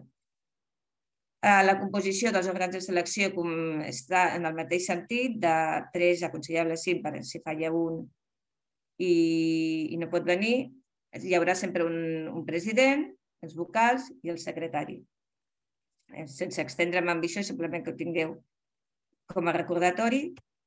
El que hem de tenir clar, el, que els assessors i personal col·laborador no són membres del tribunal, això tinguem clar. Això no vol dir que no tinguem puguem-los abonar les indemnitzacions, això no estic dient, simplement que no són membres del tribunal, amb la qual cosa tenen veu però no tenen vot. El, la relació nominal que es comentava, que s'ha de publicar la composició nominal de, de les persones per poder fer la, la recusació, en el seu cas. El, el tema de la discrecionalitat tècnica que comentàvem. Amb la sentència aquesta de 28 de març del 2022, el que ens està exigint ara és que el Tribunal Qualificador amb caràcter previ a la realització de les, pobre, de les proves, publiciti els criteris d'actuació i la seva notificació al personal aspirant per garantir el principi de seguretat jurídica, en base als principis de transparència i publicitat. Aquí hi havia una reclamació d'un aspirant que deia que va ser de no apta, però no coneixia en què es basava per, per poder qualificar la seva no, no aptitud i vam fer retrotraure totes les actuacions al, del procés selectiu. En la qual cosa això tinguem molt en compte si no està clar eh, o és molt subjectiu de que abans el Tribunal Qualificador reuneixi, determini quines són els, els criteris i els barems que, que tindrà en compte per actuar després a l'hora d'avaluar els, els aspirants. Aquesta és una sentència que trobo pues, de gran envergadura, però que són totes les, les seleccions, perquè ja tenim bastant complicat, i aquesta s'afegeix, però per altra banda també és una manera de, de garantir doncs, el que és la transparència i la publicitat que els aspirants també tenen tot el dret. Es podria encomanar la pregunta que ens podrien fer si una comissió de selecció permanent? Doncs sí, en el sentit de que com que s'han de fer tants, uh, tants processos selectius um, per estabilitzar a totes les places que tenim. Hi ha ajuntaments que en tenen poques, però els que tenen moltíssimes, doncs se podria fer una comissió de selecció permanent a nivell local o municipal.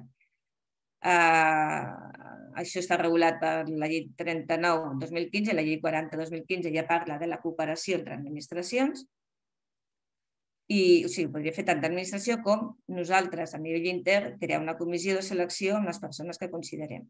Això és una, també podria ser una altra opció a l'hora de gestionar, perquè l'objectiu d'avui és una mica més de gestió i en base a les consultes, els dubtes que ens van sorgint, com els, els, els anem resol, resolent.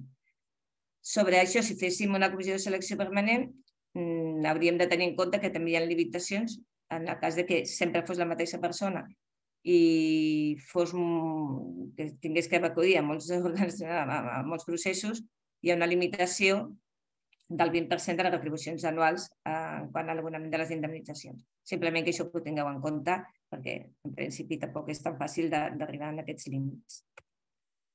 Sobre poder estar present dels sindicats o representació del personal. Aquesta l'he posat, tot i que sabem tots que no eh, poden estar i ja ho tenim tots un gol avall, no que diem, sí que hi ha moltes bases i que s'han més el tema d'observadors. O sigui, jo no vinc com a òrgan qualificador, no vinc ni com a assessor, no vinc de cap tipus de manera, sinó com un observador. Aquí és un... sempre no tindrà ni veu ni vot, això està claríssim, i en tot cas jo el que aconsello és que ho regulin les bases reguladores i es faci constant l'acte la persona que ve i com a observador. Sobre això mm, ha sortit també moltes... Eh, el, el, el, fet de que estiguin o no com a observadors en, en, el, en, els, en les pròximes eh, sentències que puguin sortir d'aquests processos d'estabilització es veurà si hi ha algun problema o no. En principi, mm, les bases si ho regulen ens ho faciliten. El tema d'assessors especialistes és el que comentàvem abans, sí que poden haver assessors, el regular article 13 del reglament, del 364, ho ha de preveure les bases de la convocatòria. Tinguem molt en compte que les bases de la convocatòria és el pare nostre. I quan més coses posem eh, que ens eh, puguem trontollar en el seu moment, com això dels observadors, millor perquè serà molt més fàcil per l'hora de fer la motivació. Eh, correspon a l'òrgan selectiu eh, que és el que comentava abans, no a l'Ajuntament, sinó és l'òrgan el que demanarà a l'assessor especialista i designar aquestes persones. Eh, per exemple, la prova de català, que és el que posàvem, o, o qualsevol altra de mèdiques o de psicotècnics o entrevistes de competències o qualsevol que puguem estipular. Això és eh, aplicable tant pels processos d'estabilització com per el, qualsevol procés selectiu que, que tinguem. El personal col·laborador sí que és el que comentava, que sí que pot estar per tot aquell ajut que necessitem en quant a les preparacions i tasques auxiliars. Continuem sobre què passa amb els processos d'estabilització de les que estiguin en vigor de les lleis de pressupostos del 2017 i la del 2018. Diu, què fem amb aquestes convocatòries? Doncs, eh, si s'han publicat i la seva convocatòria i estan abans de que sortís el Real Decret 14-2021, eh, seguiran executant-se amb les previsions, això t'ho diu molt clar la disposició transitòria primera, que seguiran de conformitat amb el que anava en, el, en la normativa anterior. Després ja veurem què passa quan vulguin l'equiparació per la compensació. Però de moment el que hem de tenir clar és que segueixen regint-se amb la uh, legislació que teníem, que hi havia quan, en la convocatòria.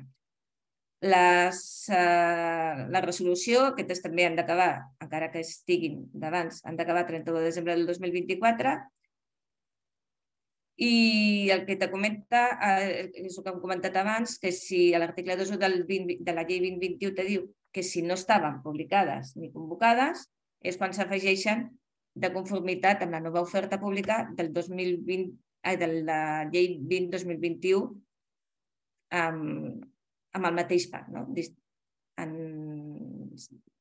sempre que estiguessin publicades. I això és cert que sempre havien d'estar, aquestes classes havien d'haver estat convocades les ofertes públiques del 2017 i del 2018. Sobre les persones, la, la pregunta que ens podem fer, si les persones aspirants en actiu en l'Ajuntament convocant que no superin aquests processos selectius eh, tenen dret a la compensació econòmica? Doncs no. Aquelles persones que se regulen per les estabilitzacions primera i segona que comentàvem abans, en principi l'administració no té el dret a donar-li aquesta compensació, perquè la compensació la introdueix l'article 2 del Real Decret 14-2021 i la manté a l'article 2 de la llei 2021. Altra cosa és el que diu la disposició addicional 17, 17ena sobre el, les mesures de temporalitat que només poden estar els 3 anys, però ja es fan esment a les persones que entren a partir d'aquelles dates. Però les d'abans, aquí ens, trobem, ens trobarem segurament amb aquest uh, dilema de que la gent, doncs, suposo que reclamarà uh, la igualtat d'aquesta compensació. Sobre quan han de quedar finalitzats els processos d'aquestes lleis de pressupostos del 2017 i 2018? Doncs la pròpia disposició transitòria primera i l'article 2.1 ja te diu que les han d'estar incloses i que han de finalitzar abans del 31 de desembre del 2024, amb la qual cosa ens trobem amb les mateixes dates d'execució de, que les que estem fent fins ara per la llei del 20-2021. Què passa amb l'execució, tenim ofertes eh, públiques ordinàries, tenim l'estabilització, però no ens oblidem que també tenim les taxes de reposició ordinàries, que a vegades sembla que ens oblidem i, i tenim ja aquest últim trimestre han de, han de publicar la taxa ordinària de reposició. Sobre això, de l'execució de les ofertes ordinàries d'ocupació i la coexistència amb les d'estabilització, hem de tenir en compte si, quan hem llegit les orientacions a la resolució de la Secretaria d'Estat, que et deix caure, et deix, eh, bueno, deix caure, es regula o està dient que l'articulació de les diferents ofertes públiques d'ocupació diu eh, que es poden pudiendo por ello que, que poden coexistir si es poden fer la mateixa convocatòria tant les que siguin de l'article 2, que són de concurs o oposició, com les que altres que puguin venir de la mateixa plaça, o sigui, que siguin de la mateixa categoria, escala i subescala, que provinguin de l'oferta, ai, d'ofertes, ai, de taxes de reposició ordinaris i d'oferta pública ordinària. Diu, pudiendo, por ello, comenta, diu, pudiendo por ello existir, por tanto, una misma convocatoria con unos mismos ejercicios y méritos a valorar.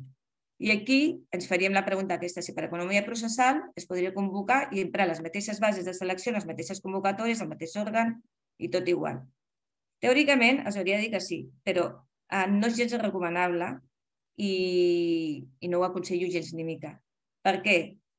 Perquè el primer que tenim és que el temari, primer que eh, ja no arribaríem a cap acord, perquè el temari per les ofertes públiques d'estabilització de taxa de reposició ordinària se segueix mantenint el que diu el, el reglament, si són, per exemple, 90 temes per una U, doncs continuaran sent 90 temes, amb la qual cosa ja les, les bases entre l'estabilització i la que són de procediments ordinaris ja ens aniríem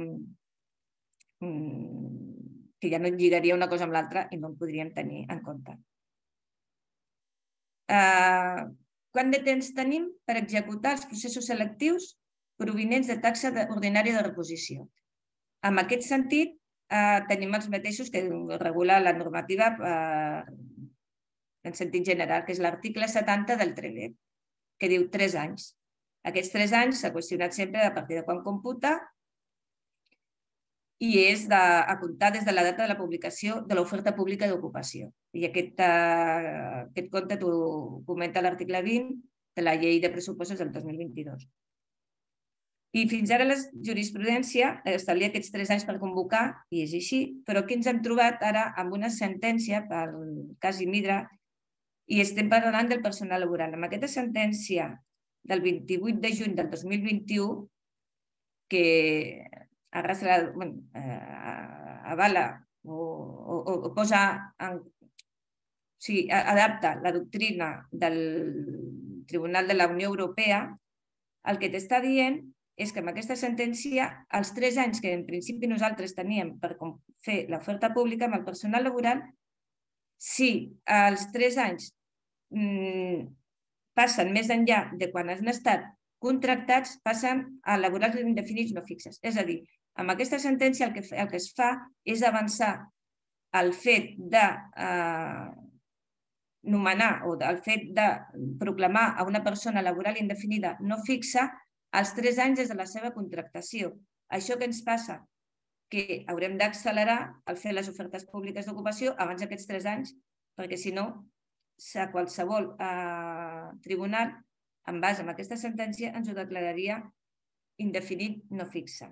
Pensem que el, la, la declaració de laboral indefinit no fixa ha de ser per per sentència judicial, tal com disposa la disposició addicional 43 de la llei 6-2018. Això és important tenir-ho en compte perquè quan ara fem una contractació de personal laboral, a part de ja ens diuen que han de ser de 3 anys, els, els funcionaris interins també han de ser de 3 anys, un funcionari interí, eh, l'article 2 de la llei 20-2021, te diu que serà de 3 anys, però que si tu tens el procés selectiu, l'oferta convocada i estàs fent el procés selectiu, el podràs allargar. En canvi, si és personal laboral, amb aquesta sentència que acabo d'esmentar, el que t'està dient és que si passa 3 anys des de que tu l'has contractat i se'n va a, un, a la, la jurisdicció social, el declararan laboral indefinit no fixa, encara que, que estigui per una plaça per vacant, per, per interinitat, perquè ja han passat els tres anys i aquesta sentència diu que ja en tres anys ja hi ha prou suficient de temps per poder fer aquest procés selectiu. En la qual cosa això tinguem-lo bastant en clar que si hem de fer algun procés selectiu, abans farem els laborals que els de funcionaris en aquest sentit. Sobre les persones que poden accedir a les convocatòries dels processos d'estabilització. Aquesta pregunta, que al principi era bastant recurrent, jo crec que ja tothom ja té molt clar que tothom, diu, es poden presentar a les convocatòries d'estabilització al personal laboral fix o funcionari de carrera de la mateixa o altra administració estan en actiu? Sí, perquè en principi se parlava si només podien ser laborals temporals, no. Qualsevol persona, encara que tingui una plaça, sigui en la mateixa administració, sigui en una altra, sí que es pot presentar. Altra cosa és que les bases de selecció, les bases que s'estiguin confeccionant, la puntuació que puguin donar a uns o als altres. Aquí ja estarà en funció de que diguin les bases, però la concurrència és lliure i es poden presentar sense cap tipus de dubte. El mateix seria amb, amb més criteri si és laboral, temporal, laboral indefinit no fix, de, ja sigui de l'administració mateixa o d'una altra que no sigui la convocant. Anem ara sobre el compliment dels terminis que, que marca la, el procediment legal dels processos selectius.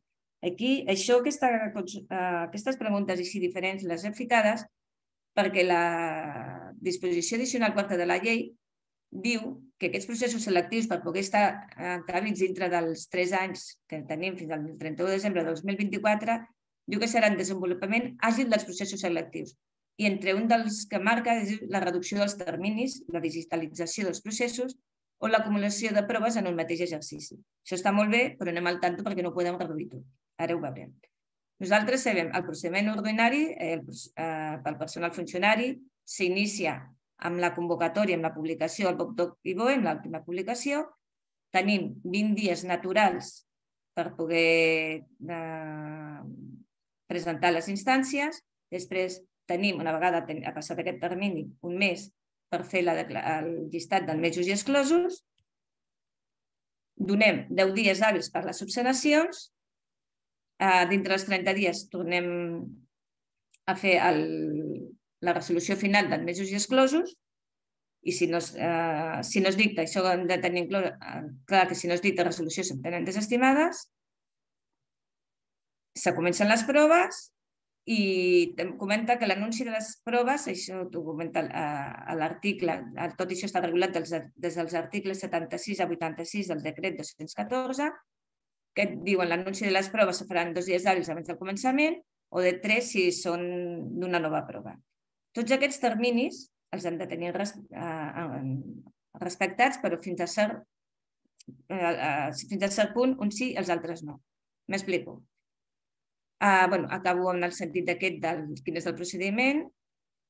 Tenim els 20 dies naturals per poder la gent que aporti tota la documentació, el nomenament dintre del termini d'un mes, se fa la publicació al BOP i després un mes per la presa de possessió. Això seria pel personal funcionari.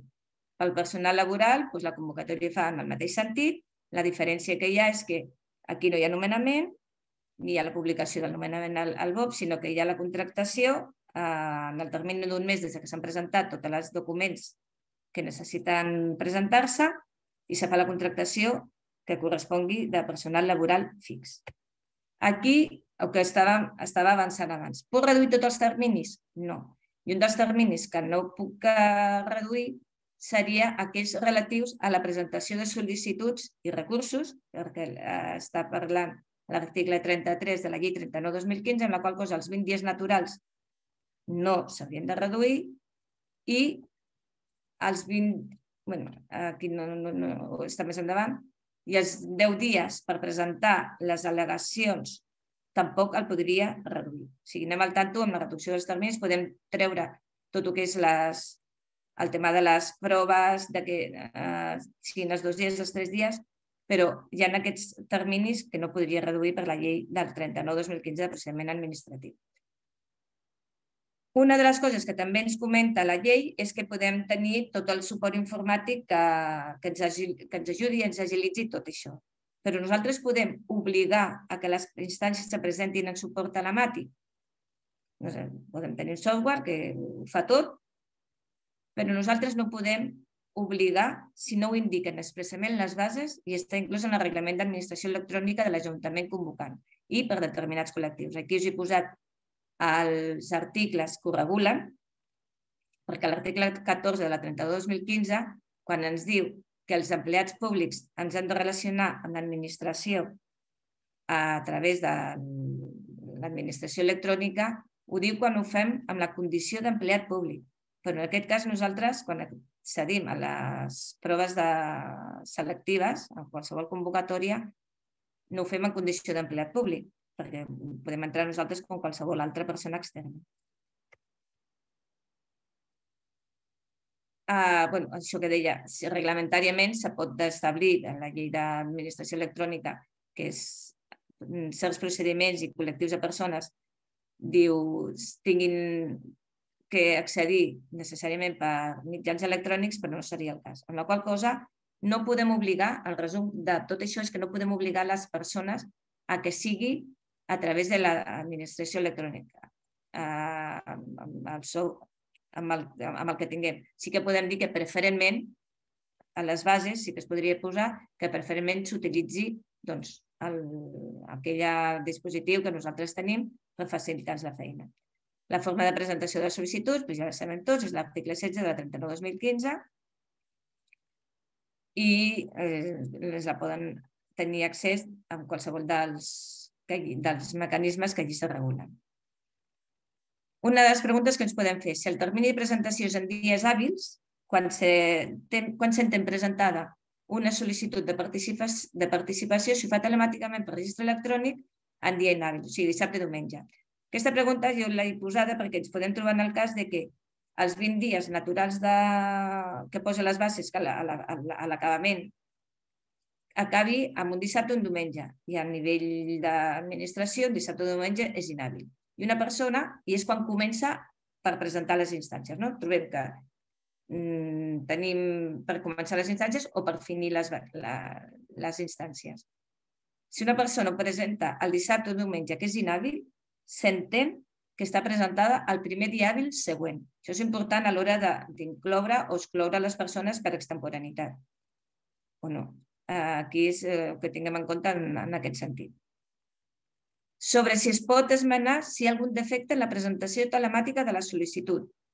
Sí, això, el fet de que jo presenti telemàticament no m'adona menys garanties, ni més ni menys garanties, que les que pugui presentar, com fèiem fins ara, o s'ha fet en paper. Vull dir, no, no dona ni més ni menys. En aquest sentit, us aporto aquesta sentència de que del, del 10 de març del 2022 que el fet de presentar-ho telemàticament no pot erosionar les garanties del procediment administratiu. Què passa si se'ns acumulen? Això és una de les preguntes que ens serem tots perquè pot ser que se'ns acumulin tot perquè les convocatòries si han d'estar acabades les bases de convocatòries el 31 de desembre del 2022, clar, els 20 dies naturals mm, doncs, són 20 dies naturals i pot ser que tinguem un gran volum d'instàncies. Què passa si se'ns acumulen i el, el llistat d'aspirants admesos i exclosos no l'aprovem? En principi, a diferència del que passa en la caducitat de l'oferta pública d'ocupació, que si no l'executem en els tres anys hi ha sentència, la jurisprudència la doctrina jurisprudencial ja així ho ha assentat, de que és un termini que s'ha de, de complir si no caduca. En aquest cas, no, és una irregularitat formal no invalidant perquè el, el llistat de més d'exclosos és un acte de tràmit i en principi seria una irregularitat formal que no invalidaria el procediment.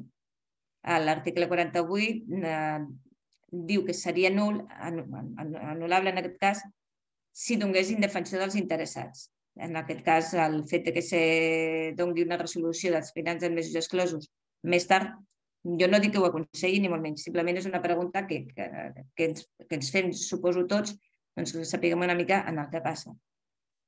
Uh, de que tenim aquest, um, aquesta tranquil·litat, per dir-ho d'alguna manera, de que en principi no invalidaria el procés selectiu. El, la, el que comentava, que no suposa una indefensió, sinó el que farem, doncs, el que passa és que s'allarga més. Vull dir, si jo tenia que publicar un termini, Ara, és, no, no és aconsellable ni ho estic dient en aquest sentit. Què passa? Que el personal interessat, en aquest cas els aspirants, sí que podrien tenir dret a exigir responsabilitats per retard, a formular les al·legacions que considerin mm, oportunes i això podria eh, contraportar a la, a la vegada una responsabilitat disciplinària per a la persona funcional responsable. Però bueno, eh, aquest tampoc no seria l'objectiu de... en el que estem movent-se en quant a la pregunta. Un de les, de les qüestions que ens fem tots, perquè ara la gent comença a fer molts concursos i s'està movent molt, moltíssim, però hem de tenir molt en compte fins quan es valoraran aquests mèrits. I això les bases crec que és una de les coses, i encara estem a temps, de que ho estipuli. Perquè uh, si no, la gent, per molts cursos que faci a posteriori, potser que ja no li serveixi. I això és de les coses que hem de tenir clares i a les nostres administracions jo crec que hem de ser també molt transparents i comentar-ho. Fins quan es, valor, es poden presentar les acreditacions dels mèrits i fins a quina data es valoraran. Si les bases no diuen res, serà fins a la data màxima de presentació d'instància. I això és el que, estava, el que estem, i reitero, que les bases, el que posin les bases és determinant. Perquè si no diu res, per jurisprudència, te diu que és el darrer dia de presentació de les instàncies. I això doncs, acabarà en aquella data i fins a aquella data només es podran valorar sobre les persones que no superin el procés selectiu i quedin en bossa de treball.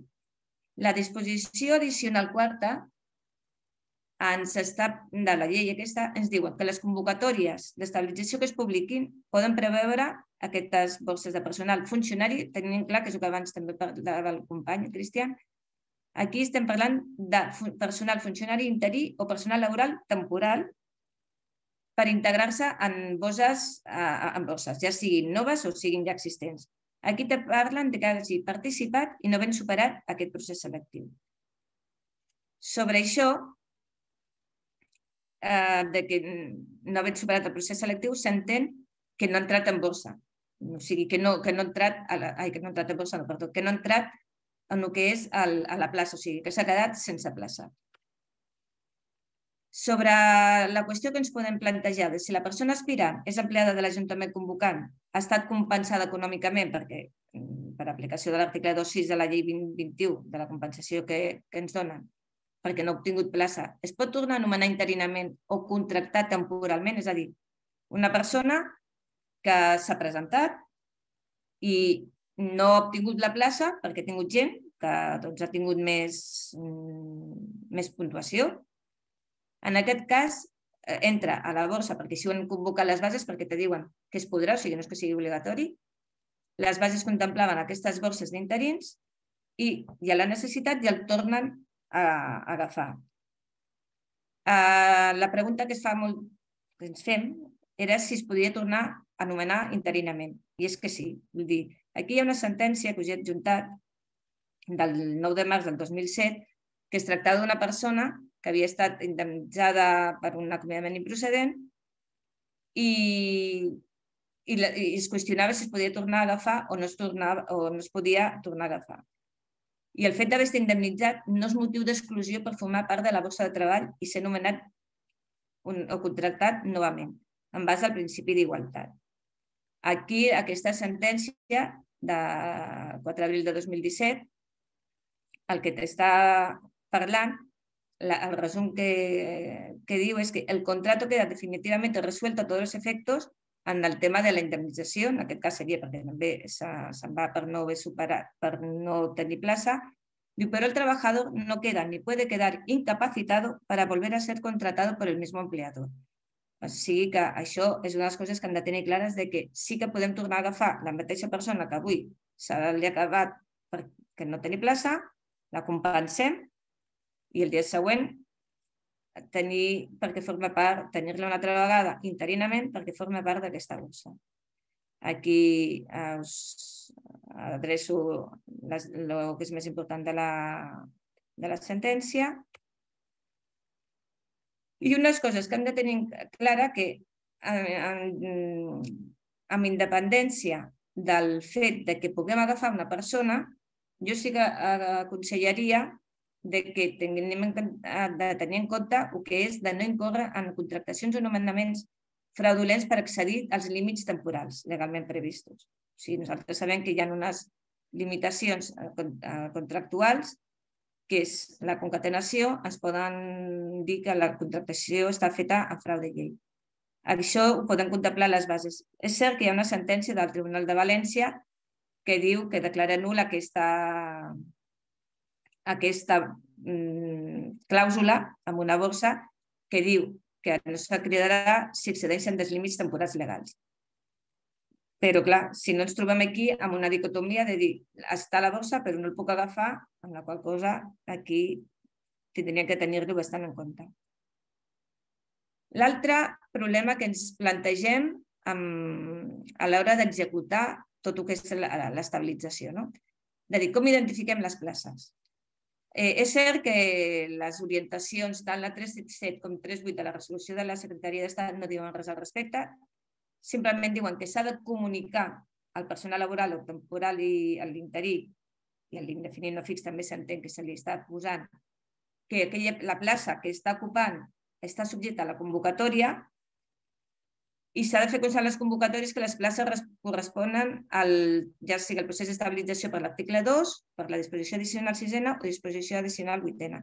És a dir, no, aquí no et diuen res de, mm, de com senyalitzar les, la, la, les places, però sí que és totalment aconsellable per una gestió i, i poder la gent tenir clar en quina plaça està ocupada, de fer una identificació i comunicar-lo a les persones. Perquè el que no podem és esperar al final a saber les persones eh, si està convocada a la seva plaça, si nosaltres fem una convocatòria en sentit ampli de dir convoquem 10, convoca 10 places de C2, per dir alguna cosa, les hem d'identificar perquè les persones no poden estar al final a veure si em toca a mi o no em toca a mi. Si és que fem les convocatòries no totes juntes, si la fem, les fem parcials sobre les mateixes places. No, qual cosa, la identificació de les places eh, més que una obligació legal, seria una, un tema de gestió a l'hora de poder fer l'estabilització i poder portar-la en millor terme i menys problemes a l'hora de, la, de que les persones no se sentin que estan eh, comunicades sobre qui, si la seva plaça surt o no estabilització, que això sí que s'ha de comunicar. Què passa si no executem les convocatòries? Aquesta és una altra de les preguntes que fem. Ostres, és que, i si no em dóna temps? I si arribo al 2024 i, i estic al gener del 2025? Doncs, bueno, eh, jo si és un mes, ja diran els tribunals, suposo, és una opinió, que no passaria massa cosa.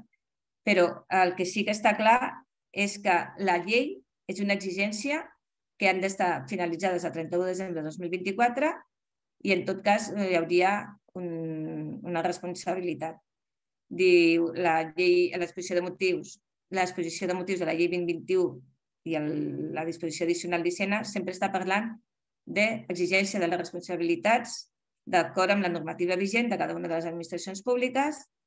La disposició addicional quarta diu també que les administracions públiques han d'assegurar el compliment del termini establert per a l'execució dels processos d'estabilització i està, o sigui, estem davant d'una responsabilitat de base indeterminada. No sabem si seria indemnitzatòria per les persones, per l'administració, pels gestors de recursos, a, a, on aniria. Està indeterminat, però sí que està clar que hi hauria, hi pot haver una responsabilitat. Sobre la provisió dels llocs de treball, les qüestions que també ens plantegem és a l'article 78 i següents i del, de l'EBEP ens parla de la provisió dels llocs de treball i sabem que una cosa és l'accés a la funció pública, que és la plaça, i l'altra és la provisió del lloc de treball, que és, el, el, que és la provisió que parlem de l'article 78. El que ens, eh, els efectes que aquí ens interessen és que l'assignació inicial dels llocs de treball, de conformitat amb l'article 26 del 364, et diuen que l'adjudicació dels llocs de treball als funcionaris de nou ingrés s'efectuarà d'acord amb les peticions dels interessats entre els llocs oferts en aquests segons l'ordre obtingut en el procés selectiu, sempre que reuneixin els requisits objectius determinats per a cada lloc en les relacions de lloc de treball. És a dir, les persones podran, eh, seran les persones, les, per l'ordre de la puntuació que hagin obtingut, els que escolliran el lloc de treball en el que volen, en el que volen anar. I continua aquest articulat dient que aquestes destinacions tenen caràcter definitiu equivalent a tots els efectes als obtinguts la, per concurs que és el que eh, seria la fase, la, la manera ordinària de proveir un lloc de treball. És a dir, quan l'accedir al nou ingrés, aquest, aquesta destinació inicial té aquest caràcter definitiu. El, el tema estrella. El tema estrella estem parlant aquí més de la, del tema de la compensació econòmica.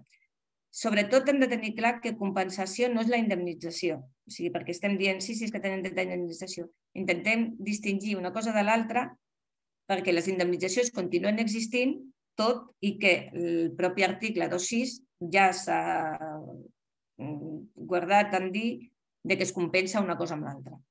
M'explico. A l'article 2.6 està dient que el personal funcionari interí i el personal laboral temporal, aquí també han d'entendre el personal laboral indefinit no fix, que estan en actiu veiés finalitzada la relació laboral amb l'administració amb aquesta de la convocant, per no superar el procés selectiu, tindrà dret a una compensació de 20 dies per any de servei, prorratejant-se per mesos els períodes inferiors a un any. Fins aquí, cap problema. Eh, sabent que el personal funcionari interí en, en el cas de, de cessament o d'amortització de la plaça no té dret a indemnització, per això fa la distinció, no qual cosa fins aquí no tenim cap, no ens pot crear en principi cap dubte. Continua dient l'article 2.6, diu en el cas del personal laboral temporal, que en aquest cas sí que ja pot haver una indemnització, el personal laboral indefinit no fix, ja hi ha una indemnització diferent, Aquí ens parla, diu que aquesta compensació consisteix en la diferència entre, els 20, entre el màxim dels 20 dies del seu salari fix per any de servei, en 12 mensualitats, i la indemnització que li correspon percebre. És a dir, aquí la normativa per no doblar el, el dret de la persona a cobrar indemnització i compensació per l'abús de, la, de la temporalitat en la que està l'administració ja diu que se compensa, o sigui, una contrarresta l'altra. Han de tenir molt clar que no participar en el procés selectiu, aquí sí que és molt clara la normativa, diu no donarà dret a cap compensació econòmica. Sobre aquí ens, ens plantegem diferents dubtes que intentarem aclarir, però serà al final la jurisprudència la que ens, de, ens dirà sobre els casos que ens podem trobar mm, els diferents casos que es puguin trobar al llarg d'aquest temps. Diu què passa amb les persones candidates que són empleades de l'Ajuntament convocant i es presenten, participen en el procés, però no aproven. Quan aquí diuen no aproven, la primera premissa el que hem de tenir clar és que està en actiu a l'administració convocant. Això eh, ho hem de tenir clar. I la segona és que ha d'haver un finiment de la relació, de la relació laboral sigui relació laboral o sigui relació mm, de personal funcionari. En aquest cas, sí que tenen dret a la compensació. I si són personal funcionari interí o personal laboral, també té dret a la mateixa compensació i en aquest cas, com comentàvem, que no hi haurà el doble abonament. La indemnització, si en el cas que li toqués, quedaria compensada per la compensació aquesta de 20 dies. Però què passa si les bases estableixen que els exercicis de la fase d'oposició no són eliminatoris i, a i aleshores supero el procés selectiu, però no tinc plaça i també hi ha finalització de la relació amb, amb l'administració. En aquest cas era perquè ens podíem plantejar, s'ha plantejat més d'una vegada, que diu per la no superació. Però clar, el supero, però no me quedo sense plaça. En aquest cas tinc dret o no tinc dret a compensació? En el meu, en el cas, eh, considero que sí, i sí s'ha parlat perquè parla, parlen de la finalització de la relació amb l'administració. Vull dir, quan es diu no superar, no s'entén en sentit estricte, sinó no obtenció de plaça, no en termes restrictius. I hem de tenir eh, eh que, el que la compensació aquesta, el que ve a, a compensar, valgui la redundància, és l'abús de la temporalitat. Castiga això. No tindria cap sentit que una persona que s'ha presentat però s'ha quedat sense plaça perquè ha tingut gent que estigui millor i sigui de la, de la pròpia administració, a la finalització no tingués compensació per entendre d'una manera estricta, restrictiva, amb la qual cosa també donaria dret a la compensació. Diu, I en els casos del sistema de concurs, que clar, el sistema de concurs en principi no són eliminatoris, i, per tant, tothom ho supera. En aquest cas també tindrem dret a la compensació. Doncs sí, en seguint el mateix criteri que us he comentat abans en la resposta dels, dels que tenen el concurs d'oposició de l'article 2. Aquí el que, la compensació, l'ànim que té, l'objectiu que té és castigar a l'administració a l'abús de la temporalitat. I el fet de que hi hagi una extinció o un cessament perquè hi ha hagut una altra persona que eh, hagi obtingut aquella plaça i no siguis tu, que és la que estaves ocupant, mm, és el que es castiga. No hi, ha, no, no hi ha un altre objectiu que aquest. Una qual cosa, en dos casos, tindrien dret a la compensació.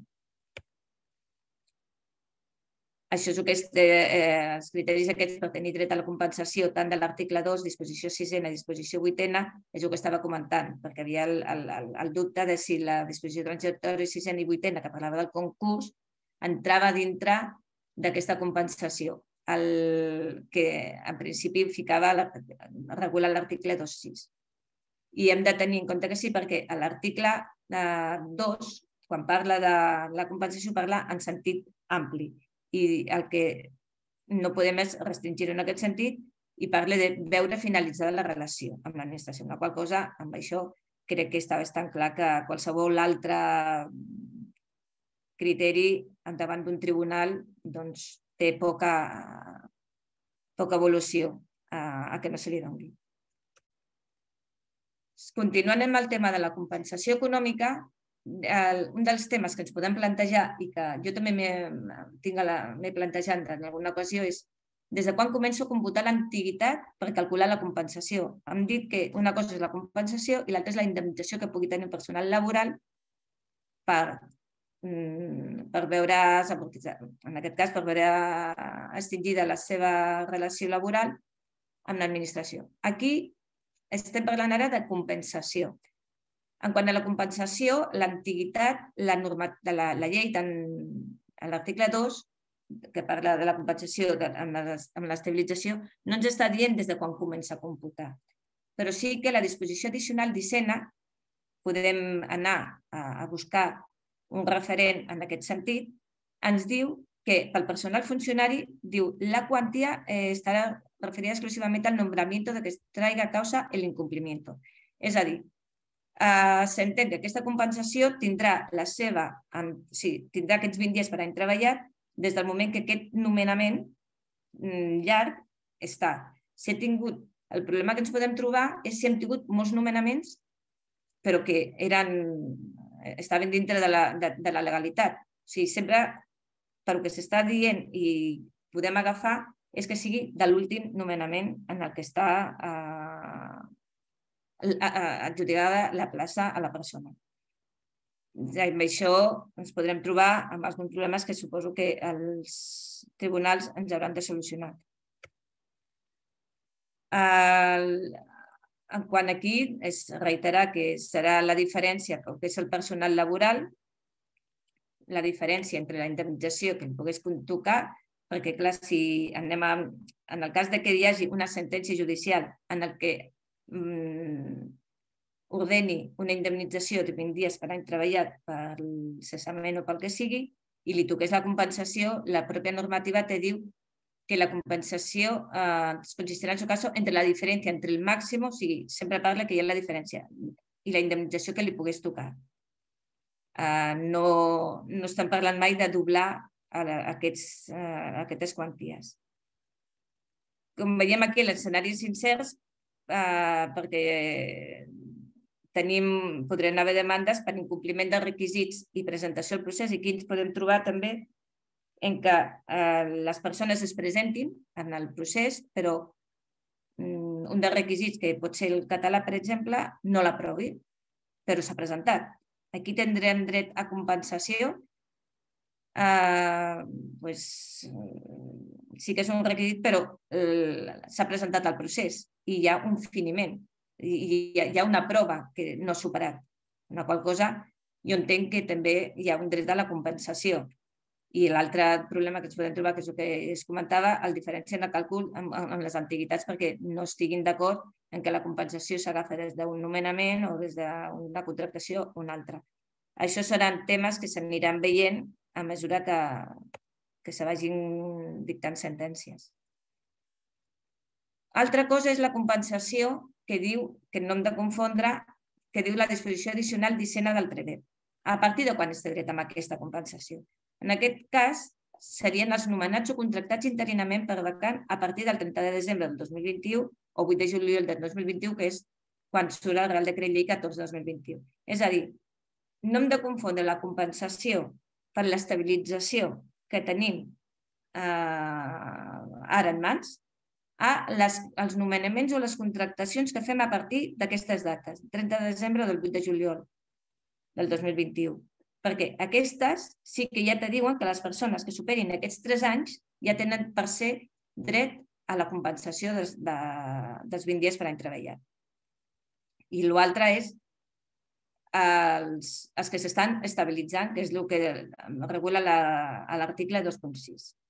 La qual cosa, eh, per què, diu que són, per què diem que són només els nomenats o contractats interinament a partir d'aquestes dates? Perquè la disposició transitòria segona de la llei 20-2021 ens ho deixa molt clar els efectes que diu que les previsions contenides en l'article 1 d'esta llei seran d'aplicació. L'article 1 parla d'aquests de, no, de no tenir nomenaments o contractacions més llargs de 3 anys.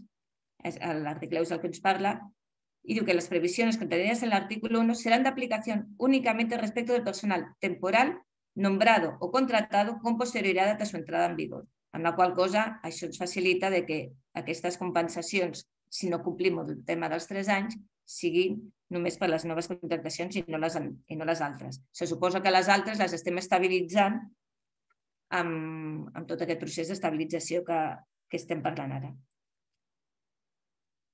Una de les preguntes que ens fem és si podrà les administracions públiques eh, suportar això, perquè eh, estem en un grau d'incertesa molt alt, perquè sí que estem fent bases de, de selecció, d'estabilització, no sé si a través m'ha dit adaptades, perquè no seria perquè hi ha la lliure concurrència, però sí que eh, s'adaptin a poder complir les normatives d'aquí, de, donant més suport a, a les places que amb, uns, amb unes puntuacions molt beneficioses per la gent que està treballant a l'administració pública. Però mm, poden haver molts moviments de gent, perquè per proximitat, per condicions laborals, es vulguin apropar i no ens quedem en la mateixa casa, sinó que anem a la casa d'una altra i ens tinguin que indemnitzar uns o els altres. Aquesta, tot això ho anirem veient a partir de tots aquests anys que, que ens venen i és el gran problema de les intervencions i de, de com gestionar amb els fons de contingència totes aquestes possibles compensacions. Eh, tenim la mania d'indemnitzacions, jo també, i si no, compensacions que, que, potencialment han de pagar. És diferent. Eh, és complicat i, i per això quan més mm, acurem tot, ens serà molt més fàcil poder que les persones que tenim a les nostres cases doncs, es quedin. No? Sobre el tema de la del personal de les societats mercantils públiques, eh, hem de tenir en compte que l'IES d'aplicació la llei 20, 2021 en la qual cosa també està afectada del pla aquest d'estabilització. I que potser a vegades no es parla tant, es parla, potser estem més acostumats a tota l'administració pública, però que sapiguem que tots els que tinguem eh, entitats públiques, fundacions, eh, societats mercantils, tot el que sigui sector públic, també està afectat per la llei 2021 i sobre la pregunta que ens podem fer si les societats mercantils públiques té la figura d'aquesta del personal laboral indefinit no fix, han de dir que sí, i això ens ho deix molt clar, aquesta sentència de 13 de juliol del 2022, que diu el contrato de trabajo indefinido no fijo no se aplica exclusivamente a las administraciones públicas ni las entidades de derecho público, sino que también opera en las entidades del sector público en las que el acceso se rige por los principios de igualdad, mérito i capacitat. Tema en compte que l'EDEP, a l'article 55 i la disposició addicional primera, te diu però que són l'accés al que el sector públic també han de complir aquests requisits. Amb la qual cosa, els límits temporals per executar els processos de selecció, d'estabilització, són els mateixos que, ens hem, que estem comentant fins ara. Les reflexions finals que ens hem de fer. Aquí eh, veiem que tenim tots aquests reptes, tots aquests dubtes que més o menys anem aclarint a poc a poc a mesura que, que anem avançant, però l'important ja no és només el, el tema d'estabilitzar, que també, és, potser ara és el gruix, no? i només pensem en això, però és que si no pensem i fem una reflexió final sobre què passarà, ens trobarem amb el mateix d'aquí poc. I això és el que no hem de, hem de ser capaços de transmetre en el sentit de dir mmm, abans podíem tenir un interí que es jubilava i, i qui no l'ha tingut. Però ara no, perquè ja ens, està, ja ens hem als tres anys que tanquem. I a més a més, si no compleixes, has de compensar. I a més a més, hi ha responsabilitat. Qual cosa ja, ja se'ns han posat, ja no ens diuen, eh, que ja ens han estirat més que les orelles. Amb la qual cosa la reflexió final l'hem de tenir sobre l'execució dels processos extraordinaris d'estabilització, en el sentit que ara comentarem, i sobre el futur en matèria de gestió personal de les administracions públiques. És tot, suposo que veurem la llum, però hem de tenir en compte aquesta incertesa que tenim dels dubtes que hem plantejat, però que no són veritats absolutes en el sentit de que ja haurem de veure les resolucions judicials que van sortint tant en el social com el contenciós i esperant que siguin en el mateix sentit, perquè a vegades el social va en una via i el contenciós en una altra.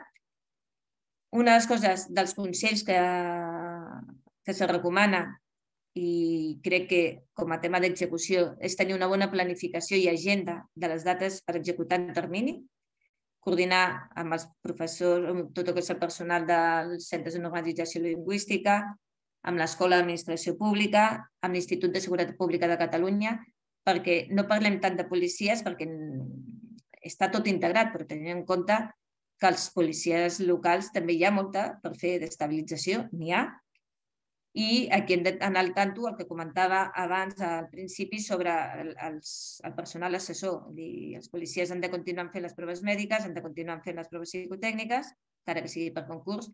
Hi ha un, un, uns criteris de l'Institut de Seguretat Pública de Catalunya que determina que hi ha unes proves que sí o sí s'han de fer i eh, tenint en compte el que hem comentat de, de que, dels assessors que, que necessitem. Eh, també es pot estudiar això, el fet de crear aquella comissió de selecció permanent. Han de preveure, i crec que no són conscients, del gran volum de documentació que ens sol·licitaran a les unitats de personal. Hi haurà molts annexos 1, fotocòpies d'actes, de, de certificats varis, necessitarem personal col·laborador de forma inevitable, eh, necessitarem personal o, o necessitarem moltes mans. Eh, una de les coses que també estan sortint, amb, si nosaltres mirem tot el que són les bases eh, que estan sortint de les diferents corporacions, el tema d'informàtica s'està per evitar fer, mm, en, en el que és l'article 2, en el que és el concurs d'oposició, proves, eh, s'està demandant molt el certificat tàctic i també en el concurs, per donar-ho com a valoració, la qual cosa seria molt bo fomentar aquesta formació de l'àctic la identificació de les places i dels llocs de treball amb codificacions, que això seria un molt facilitador per fer una tasca més útil i més fiable en quant a la gestió. I una de les coses que també se recomana, eh, ens han dit dels terminis, que es poden escurçar, que s'han de fer via i tot, sí, molt bé. I entre les proves no cal que passin els dos dies, però sí que seria una recomanació que en l'acte que se fa la proposta a l'òrgan qualificador de nomenament de funcionari o funcionari de carrera o de contractació del personal laboral fix, deixar aquell mes de transcurs del recurs d'alçada per evitar reclamacions futures, no? I que ja és allò de no, no és que ja tinc l'acte, doncs ja fa el corre-corre el, el, el nomenament i el procediment que hem comentat abans. Potser a vegades corre no va bé i deixar de posar aquest mes va bé per evitar futures reclamacions i tenir una seguretat jurídica. En quant al futur, en matèria que hem de reflexionar de, en quant a la gestió del personal no? de les administracions públiques. Hem de fer un canvi de paradigma, això ho hem de saber transmetre al, als polítics, sobretot. És un... Necessitem que, que, que siguin conscients, tots que siguem conscients de que tant la reforma laboral, el Real Decret Llei 32, com la Llei 2021, doncs estan i ens han fet que canviem. I unes preguntes que farem, això serà per sempre? O sigui, la, serà definitiu? Ja tindrem plantilles consolidades? bueno, esperem que, que sigui de gran ajut i puguem tenir el gruix consolidat i fer les coses mm, de tal manera que puguem entrar en no tornar en interinitats tan altes i, i, i llargues. Aquí l'objectiu de la llei 2021 estava en tres dimensions, que era regular el procés d'estabilització, que és el que ara hem fet, imposar mesures de prevenció, que són els tres anys que disposa la disposició addicional 17ena, o sigui, aquestes dues coses les estan, són les que s'estan fent, perquè ja estem contractant gent, tant temporal com interí, i la tercera eina, la tercera dimensió que parla la llei 2021 és de potenciar eines i cultura de planificació per a una millor, per a una millor gestió dels recursos humans. Aquestes eines i cultura de planificació doncs, seria el, el, els, els que estava comentant de planificar estratègicament ordenació de recursos humans, amb aquest canvi de paradigma, professionalitzar les administracions públiques, gestionar per objectius, i tenim eines, sí que és cert que les eines que tenim a vegades ens limiten després la jurisprudència un, ja no saps on, on anar a fer cas.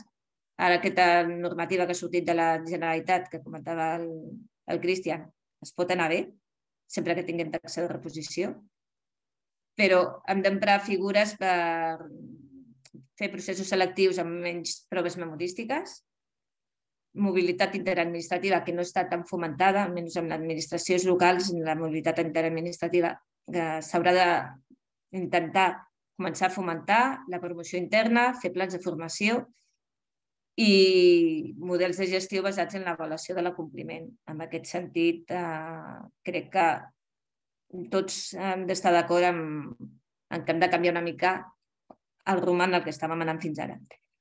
I amb això doncs ja acabaríem i gràcies, espero almenys poder fer, perquè hi ha un munt de, de dubtes que encara la jurisprudència ens acabaran de dir. Gràcies a tots i totes. Moltes gràcies, Cristina. Moltíssimes gràcies. Has fet una radiografia mm, de dalt a baix dels processos d'estabilització. La veritat és que, bueno, mm, des del començament fins al final, punt per punt, tot el, tot el que és el procediment, les coses que hem de tenir en compte abans, les coses que hem de tenir en compte després i fins i tot no, doncs una, una mica de mirada cap al futur aviam què es pot fer per redreçar situacions. Molt bé. Uh, veurem el futur que ens depara. Eh? Veurem què ens depara. De, de moment, el que tenim claríssim són aquests terminis uh, imminents. El de 31 de desembre d'aquest any és ja, eh, queda, queda res Uh, és el primer repte que tenim i després, efectivament, doncs, tot aquest desenvolupament d'aquests processos.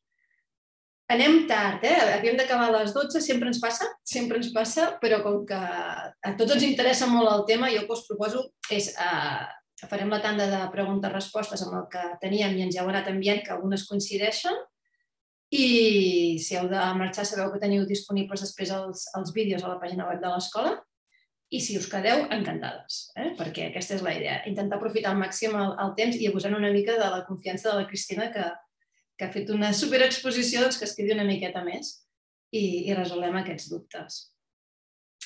Uh, mira, començarem per les bosses, perquè veig que és un tema que estem preguntant tant abans com ara. Uh, com formem aquestes bosses? En el sentit de tothom ha de poder accedir a aquestes bosses, els que, les places que han anat la, per la via del concurs, de l'addicional sisena eh, i la vuitena, concurs, concurs, oposició, en aquestes addicionals, poden entrar també en aquestes borses, són compatibles amb les borses de les ofertes ordinàries o que haguem, ara jo hi afegeixo, convocat eh, actualment, que estem convocant borses d'interinatge.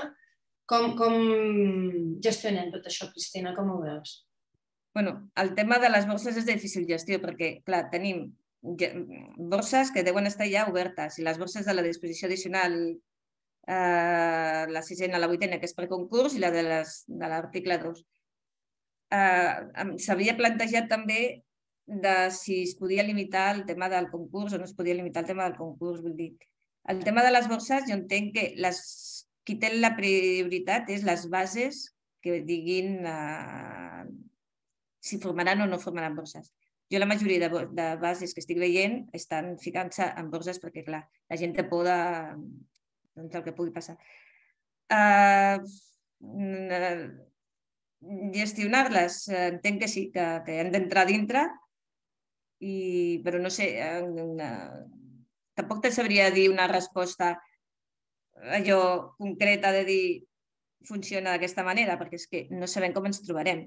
Exacte, i realment la llei no, no discrimina. Aquí la, el que l'únic que ens diu la normativa, la, la, la, la normativa d'estabilització, és que podem crear aquestes borses. Llavors és un tema de gestió pura i dura, com, com deies, Cristina. Al final cadascú ha de valorar què vol fer. No és, no és un tema de legal i il·legal, sinó que és un tema de, de gestió. Uh, volem aprofitar per fer bosses d'aquests processos, ens pot ajudar, no ens pot ajudar, com les combinem amb les bosses que tenim, doncs haurem de veure quines durades tenen aquestes bosses i, i en cas podem fer una normativa interna per, per regular-ho i per endreçar, perquè bueno, doncs és veritat que tindrem convivència d'expectatives. No? Si fem bosses de tot, doncs hi ha unes persones que estaran a la bossa i tenen una expectativa de nomenament. Per tant, aquí haurem de veure com, com ho resolem. Però és un tema molt de gestió, és a dir, que eh, hem de mirar com tenim nosaltres eh, les, les, les bosses i les que tenim fetes, les que volem fer, com tenim la plantilla, què esperem d'aquests processos i a partir d'aquí doncs, regular-ho, podem fer-ho internament. No? Llavors, amb, amb, aquí també preguntaven, el, el, quan diu la normativa, no? que està, les persones que no hagin superat el, el procés d'estabilització podran formar part de la borsa, etc. Bueno, què entenem per superar? Eh, aquesta també és una pregunta que ens fan. No?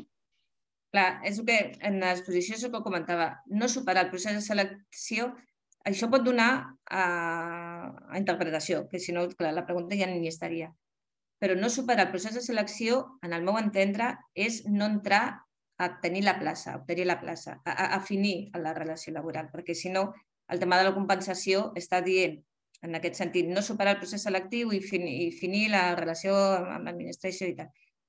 No, jo, en el meu entendre, mm, i crec que els tribunals i, i l'objectiu de... O sigui, en l'exposició de motius també t'ho està posant, és la persona que fa molt de temps que està i se li, o sigui, i se li extingeix la relació perquè tinc la mala sort que no ha entrat, mmm, no l'ha superat. No superar és que, que no, no hi ha entrat a la plaça. No, ja no, no crec que estigui pensat en el sentit de si aprovo una oferta, si aprovo una oposició o no l'aprovo, perquè tampoc la, se contradiria el, el propi article 2 quan diu que els, la fase d'oposició pot ser no eliminatòria o que el concurs ja no és eliminatori per si hi hauria, crec que hi ha unes contradiccions que no podem anar, entrar nosaltres a, a, a, a establir-les.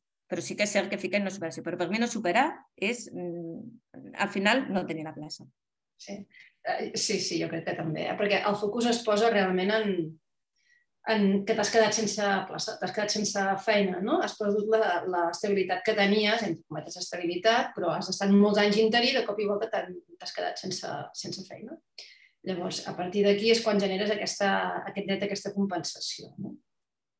D'acord. Llavors, també ens preguntaven el tema dels de, de mèrits, eh? entre el, el 60-40 que s'estipula d'oposició concurs, dins d'aquest 40%, eh, això ho vam tractar també en l'anterior sessió del seminari, eh, jo també ho remeto a l'anterior la, sessió, doncs on estan els límits, no? de si podem valorar molt o menys o, o massa o poc o massa poc els mèrits prestats doncs, a la nostra administració o en altres administracions locals, etc.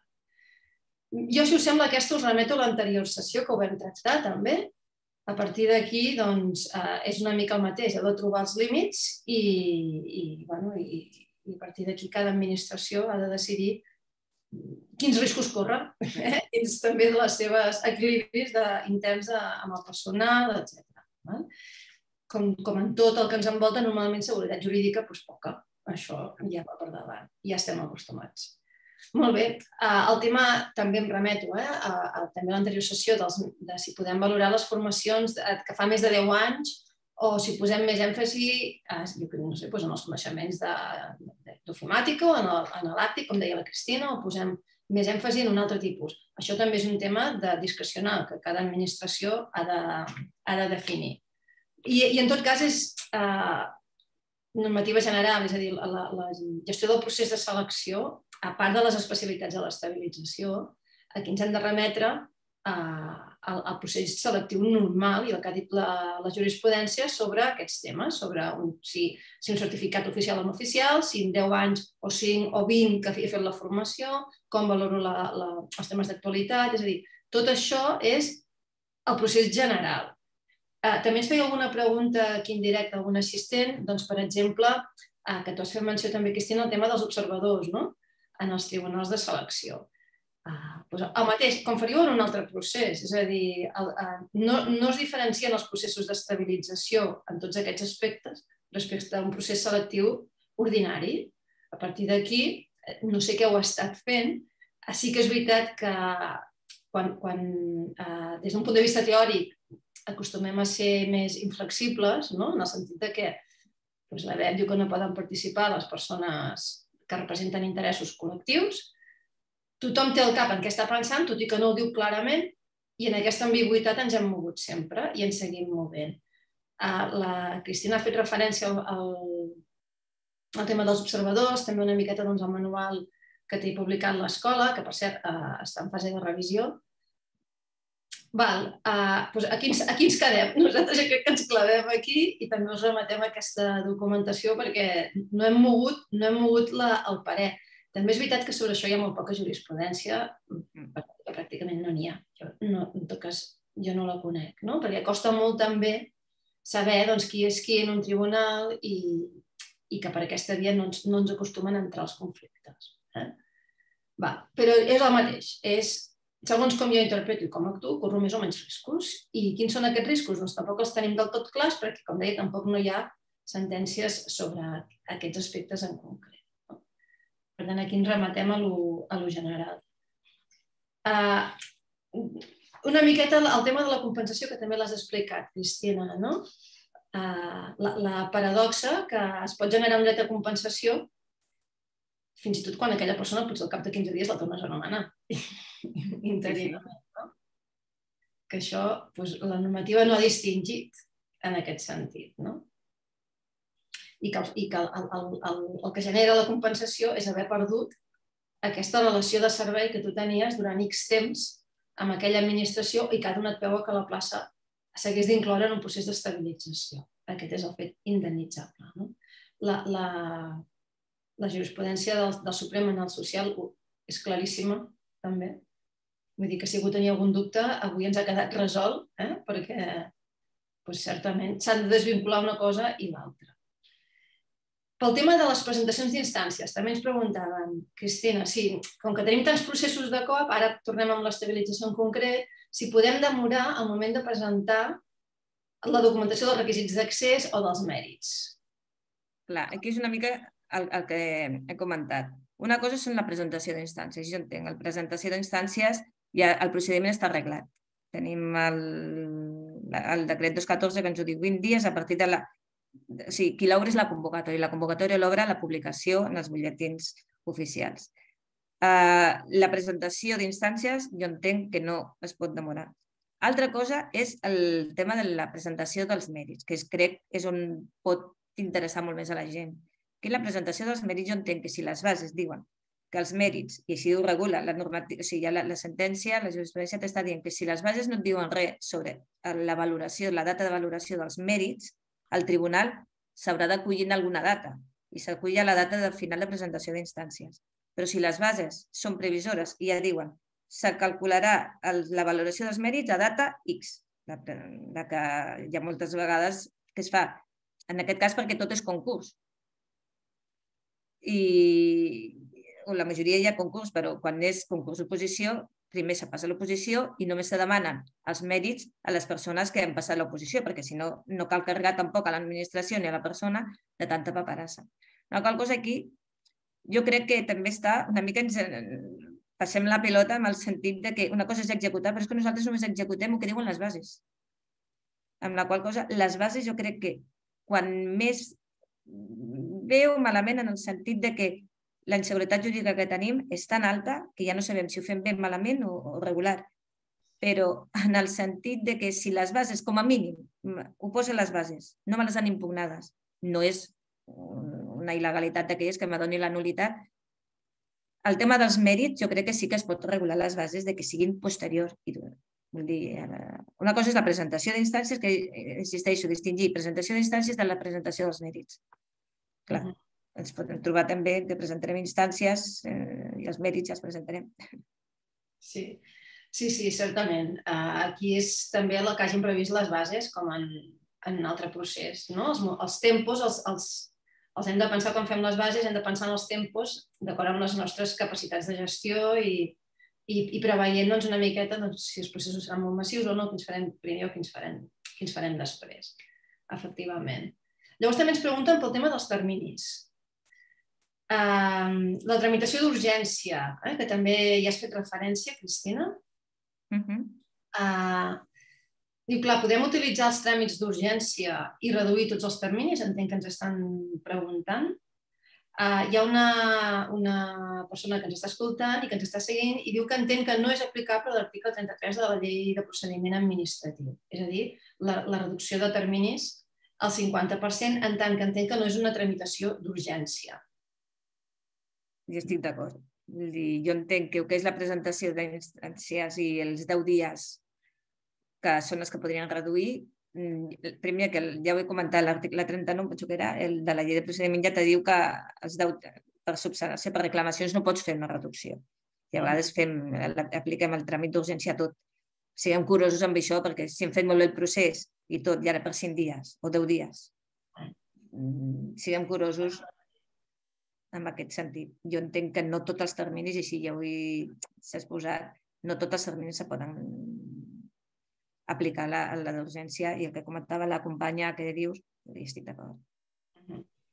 Molt bé, i aquesta mateixa companya també ens pregunta uh, que també, també ja té raó, diu, clar, diu, si deixem presentar els funcionaris de carrera, pot ser que no reduïm la taxa per sota del 8% de la temporalitat. Em remeto a les bases. Sí. Ja ho has explicat molt bé abans, Cristina, efectivament, que nosaltres no podem limitar l'accés, són processos de concurrència pública i, per tant, eh, es pot presentar tothom. Si es presenta un funcionari de carrera i té la plaça, aquella plaça sí que ha reduït la temporalitat perquè ha saltat un interí. Llavors, eh, què facis amb la plaça del funcionari de carrera que te l'ha guanyat tu o l'administració d'on vingui, ja és una altra cosa, si això genera més o menys temporalitat o no però en tot cas la plaça convocada d'estabilització sí que queda coberta. Per tant, eh, la temporalitat s'ha reduït. Mirem-s'ho d'una altra manera també, perquè si entra un de carrera amb una de temporal, el de carrera deix taxa de reposició ordinària. Sí, sí, exacte. També podríem mirar-s'ho així. Sí. En tot cas, eh, són processos de pública concurrència. Aquí limitar en els requisits d'accés, eh, limitar l'accés a via mm, tu entres tu no perquè tu ets interí, tu no, això no. Això jo, no? És com claríssim que no, eh? Amb el tema dels mèrits hi, poden, hi ha línies vermelles, però no sabem ben bé on estan, ja ho anirem veient, però, però amb, amb els requisits d'accés eh, han de ser oberts. Eh? També ja aprofito, no, no per l'estabilització en general, compte amb les titulacions. Compte amb les titulacions, perquè mm. eh, tampoc per aquí es pot restringir. És a dir, hem d'aplicar el, el, el que faríem en qualsevol procés selectiu, no varia eh, respecte als processos d'estabilització. No? Molt bé. jo crec que més o menys el tema de l'estabilització que hem anat veient... Bueno, també ens fan una pregunta si podem posar un, un període de pràctiques en els processos d'estabilització, per exemple. No? Doncs si podem preveure que les persones que obtinguin les places d'estabilització, posem pel cas que doncs ja són persones interines nostres, si els hi podem posar un període de pràctiques o un període de prova. A veure, eh, sobre això, si és personal laboral, ens ho soluciona el propi Estatut dels Treballadors, que si tu ja has tingut una persona laboral amb el mateix lloc de treball ocupant i tens l'estabilització, ja la pròpia normativa no te deix. La qual cosa seria molt bo que la pròpia base recollís que si l'agafa la pròpia persona, en aplicació de la normativa de l'Estatut ja no hi ha període de prova. En quant al període de pràctiques per personal funcionari, per analogia, tampoc té massa sentit que una persona que ha estat 20 anys fent la mateixa feina i ara li posis un període de prova i tinc... Però estem en un mateix. Les bases jo crec que han de recollir aquestes coses. Tots aquests dubtes que ens estem plantejant i que s'ha exposat, quan més definits estiguin a les bases, millor, perquè tu pots posar les bases període de prova X, el que, pels diferents grups, si fas unes generals, però també pots posar una coletilla de dir que si el personal ja ha passat aquest període de prova, doncs no té cap sentit. O sigui, uh -huh. que queda exonerat de fer-lo. Sí, sí, i de fet eh, és, és quasi aconsellable realment. No? Veure, perquè el que deies tu, una persona que fa 20 o igual, o 5 o 3 anys que està treballant amb nosaltres i ha estat treballant fins ara, no? encara que posem el període de pràctiques, com justificarem que no el superes? Si és que aquest, mm, Llavors, bueno, és, és, és segurament uh, una qüestió evitable. Eh? Molt bé. Que no vol dir que no es pugui fer. És, és el que dèiem, eh? no. una cosa la legalitat i una altra cosa és uh, els temes de gestió, que jo crec que uh, hem de tenir els dos mons no? molt, molt un al costat de l'altre i en aquest sentit, com ens has explicat, Cristina, en preguntes-respostes que te les has plantejat a l'hora de portar a la pràctica, no? Quan baixes la normativa i la baixes a, al dia a dia i dius, va, anem a fer-ho, és quan surten tots aquests dubtes que ens has plantejat en forma de pregunta-resposta i mm, de començament a final, eh? en tot el que ens podem anar doncs, entrebancant o qüestionant. Mm -hmm. Molt bé. Llavors també ens preguntaven si una persona eh, eh de les que ocupen una plaça a estabilitzar es jubila abans de que es convoqui el procés o en plena convocatòria, si podem tirar endavant. És a dir, eh, bueno, en plena convocatòria està clar que sí, imaginem que és abans, no? entre ara que hem fet l'oferta i que surt la convocatòria. En aquest cas, jo entenc que també, perquè hem de tenir clar, perquè és el que diem, no? confonem places, llocs, persones, el fet de que la plaça ja ha sortit estabilització perquè complia els requisits, si la plaça complia els requisits, el fet de que la persona subjectivament tingui una altra condició, eh, posem el pitjor dels casos, que es mori. Vull dir, que ho dic en, en, en el sentit de que és la plaça. Amb això me refereixo que és la plaça la que surt eh, estabilització i no la persona. O sigui, les condicions personals de la persona no, no obliguen a la, a la plaça. Exacte. Jo crec que hem contestat tot, eh, Cristina? Faig una ràpida repassada. Ah, bueno, aquesta també és una pregunta de, de temari general per entendre'ns, eh? vull dir, de qualsevol oposició, perquè bueno, jo crec que aquí també ja estem fent càlcul dels costos que tindran aquests processos, ja no només en compensacions, sinó en dietes dels membres dels tribunals i assistències. Eh? I també ens pregunten si quan es tracta de, d'aquests processos o qualsevol, en aquest cas, si també quan formen part dels òrgans de selecció persones de la nostra pròpia administració, si genera aquest dret a cobrar l'assistència. Això és un debat de moltes administracions i molts secretaris. Jo entenc que sí, perquè la, el Real Decret 462 no te'ls te, no exclou. Dir, jo crec que la responsabilitat de formar part de l'òrgan qualificador no t'exclou perquè siguis personal d'allí. Sí, correcte. Sí, sí, sí, correcte, en el sentit que jo ho veig exactament igual, sí. Correcte en correcte, eh? cadascú sí, vull dir, les seves és... conclusions, eh? però no, no, hi ha cap, no hi ha cap excepció. Sí que la, la normativa, ara no me recordaré dels, del títol, o sigui, de, de la referència, però el, el reglament d'indemnitzacions de la Generalitat crec que sí que diu alguna així, que quan és la teva feina habitual, és a dir, quan el teu lloc de treball consisteix en fer selecció, i, i en formar part d'aquests òrgans, perquè ets un professional de la selecció del personal i t'han contractat per això, no genera aquesta assistència. Aquesta normativa és d'aplicació personal de la Generalitat. És veritat que l'administració local apliquem el, el 462 i aquí no hi ha, no hi ha cap excepció. Eh? I, I ara faig, doncs, es compro cap a casa en el sentit de que formar part d'un òrgan de selecció, tant és si estàs a recursos humans o estàs en un altre, en un altre servei, i, i la part de recursos humans, selecció, pot ser discutible. Eh? Però en tot cas, qui forma part d'un òrgan de selecció està assumint una responsabilitat que no és la seva feina habitual. Mm. I, i aquesta responsabilitat és una superresponsabilitat perquè, a més, avui en dia sabeu que quasi que els processos pot ser que no s'acabin mai, perquè entre que comences, però mm, després que si no? que et demanen vista, que et demanen explicacions, que et presenten un recurs administratiu, que et presenten un recurs contenciós, uh, pot ser que no s'acabi mai aquell procés. És a dir, és una, és una responsabilitat que t'acompanya uh, una temporada. Aleshores, bueno, la legislació ha previst indemnitzar-la d'aquesta forma, a través d'una assistència amb el valor que, que se li dona i amb les condicions que, que hi ha. No? I, I això és el que diu la normativa. O sigui que no... Totalment. Eh? Molt bé. Doncs ho deixarem aquí. Són dos quarts d'una, una miqueta més. Eh? Jo crec que he fet un super repàs i, i tenim ja tota la informació, ens agradi o no ens agradi, tenim tota la informació, és a dir, ens agradi el que diu eh? la, la llei, ens agradi o no el que diuen els, les resolucions que han sortit després, ens agradi o no el que ens diuen els tribunals, eh, doncs tenim tota la informació sobre la taula, ara aquí és qüestió de baixar-la, eh? com, com ha fet la Cristina avui en la ponència, baixar-la, aplicar-la, plantejar-nos eh, com ho tenim, què hem de fer, cap on tirem i fer-ho ràpid perquè els terminis ara ja són, són curts, són curts i s'han de fer molts tràmits. De manera que us agraeixo tots l'assistència. Cristina, moltíssimes gràcies. Gràcies a vosaltres i sobre a tothom.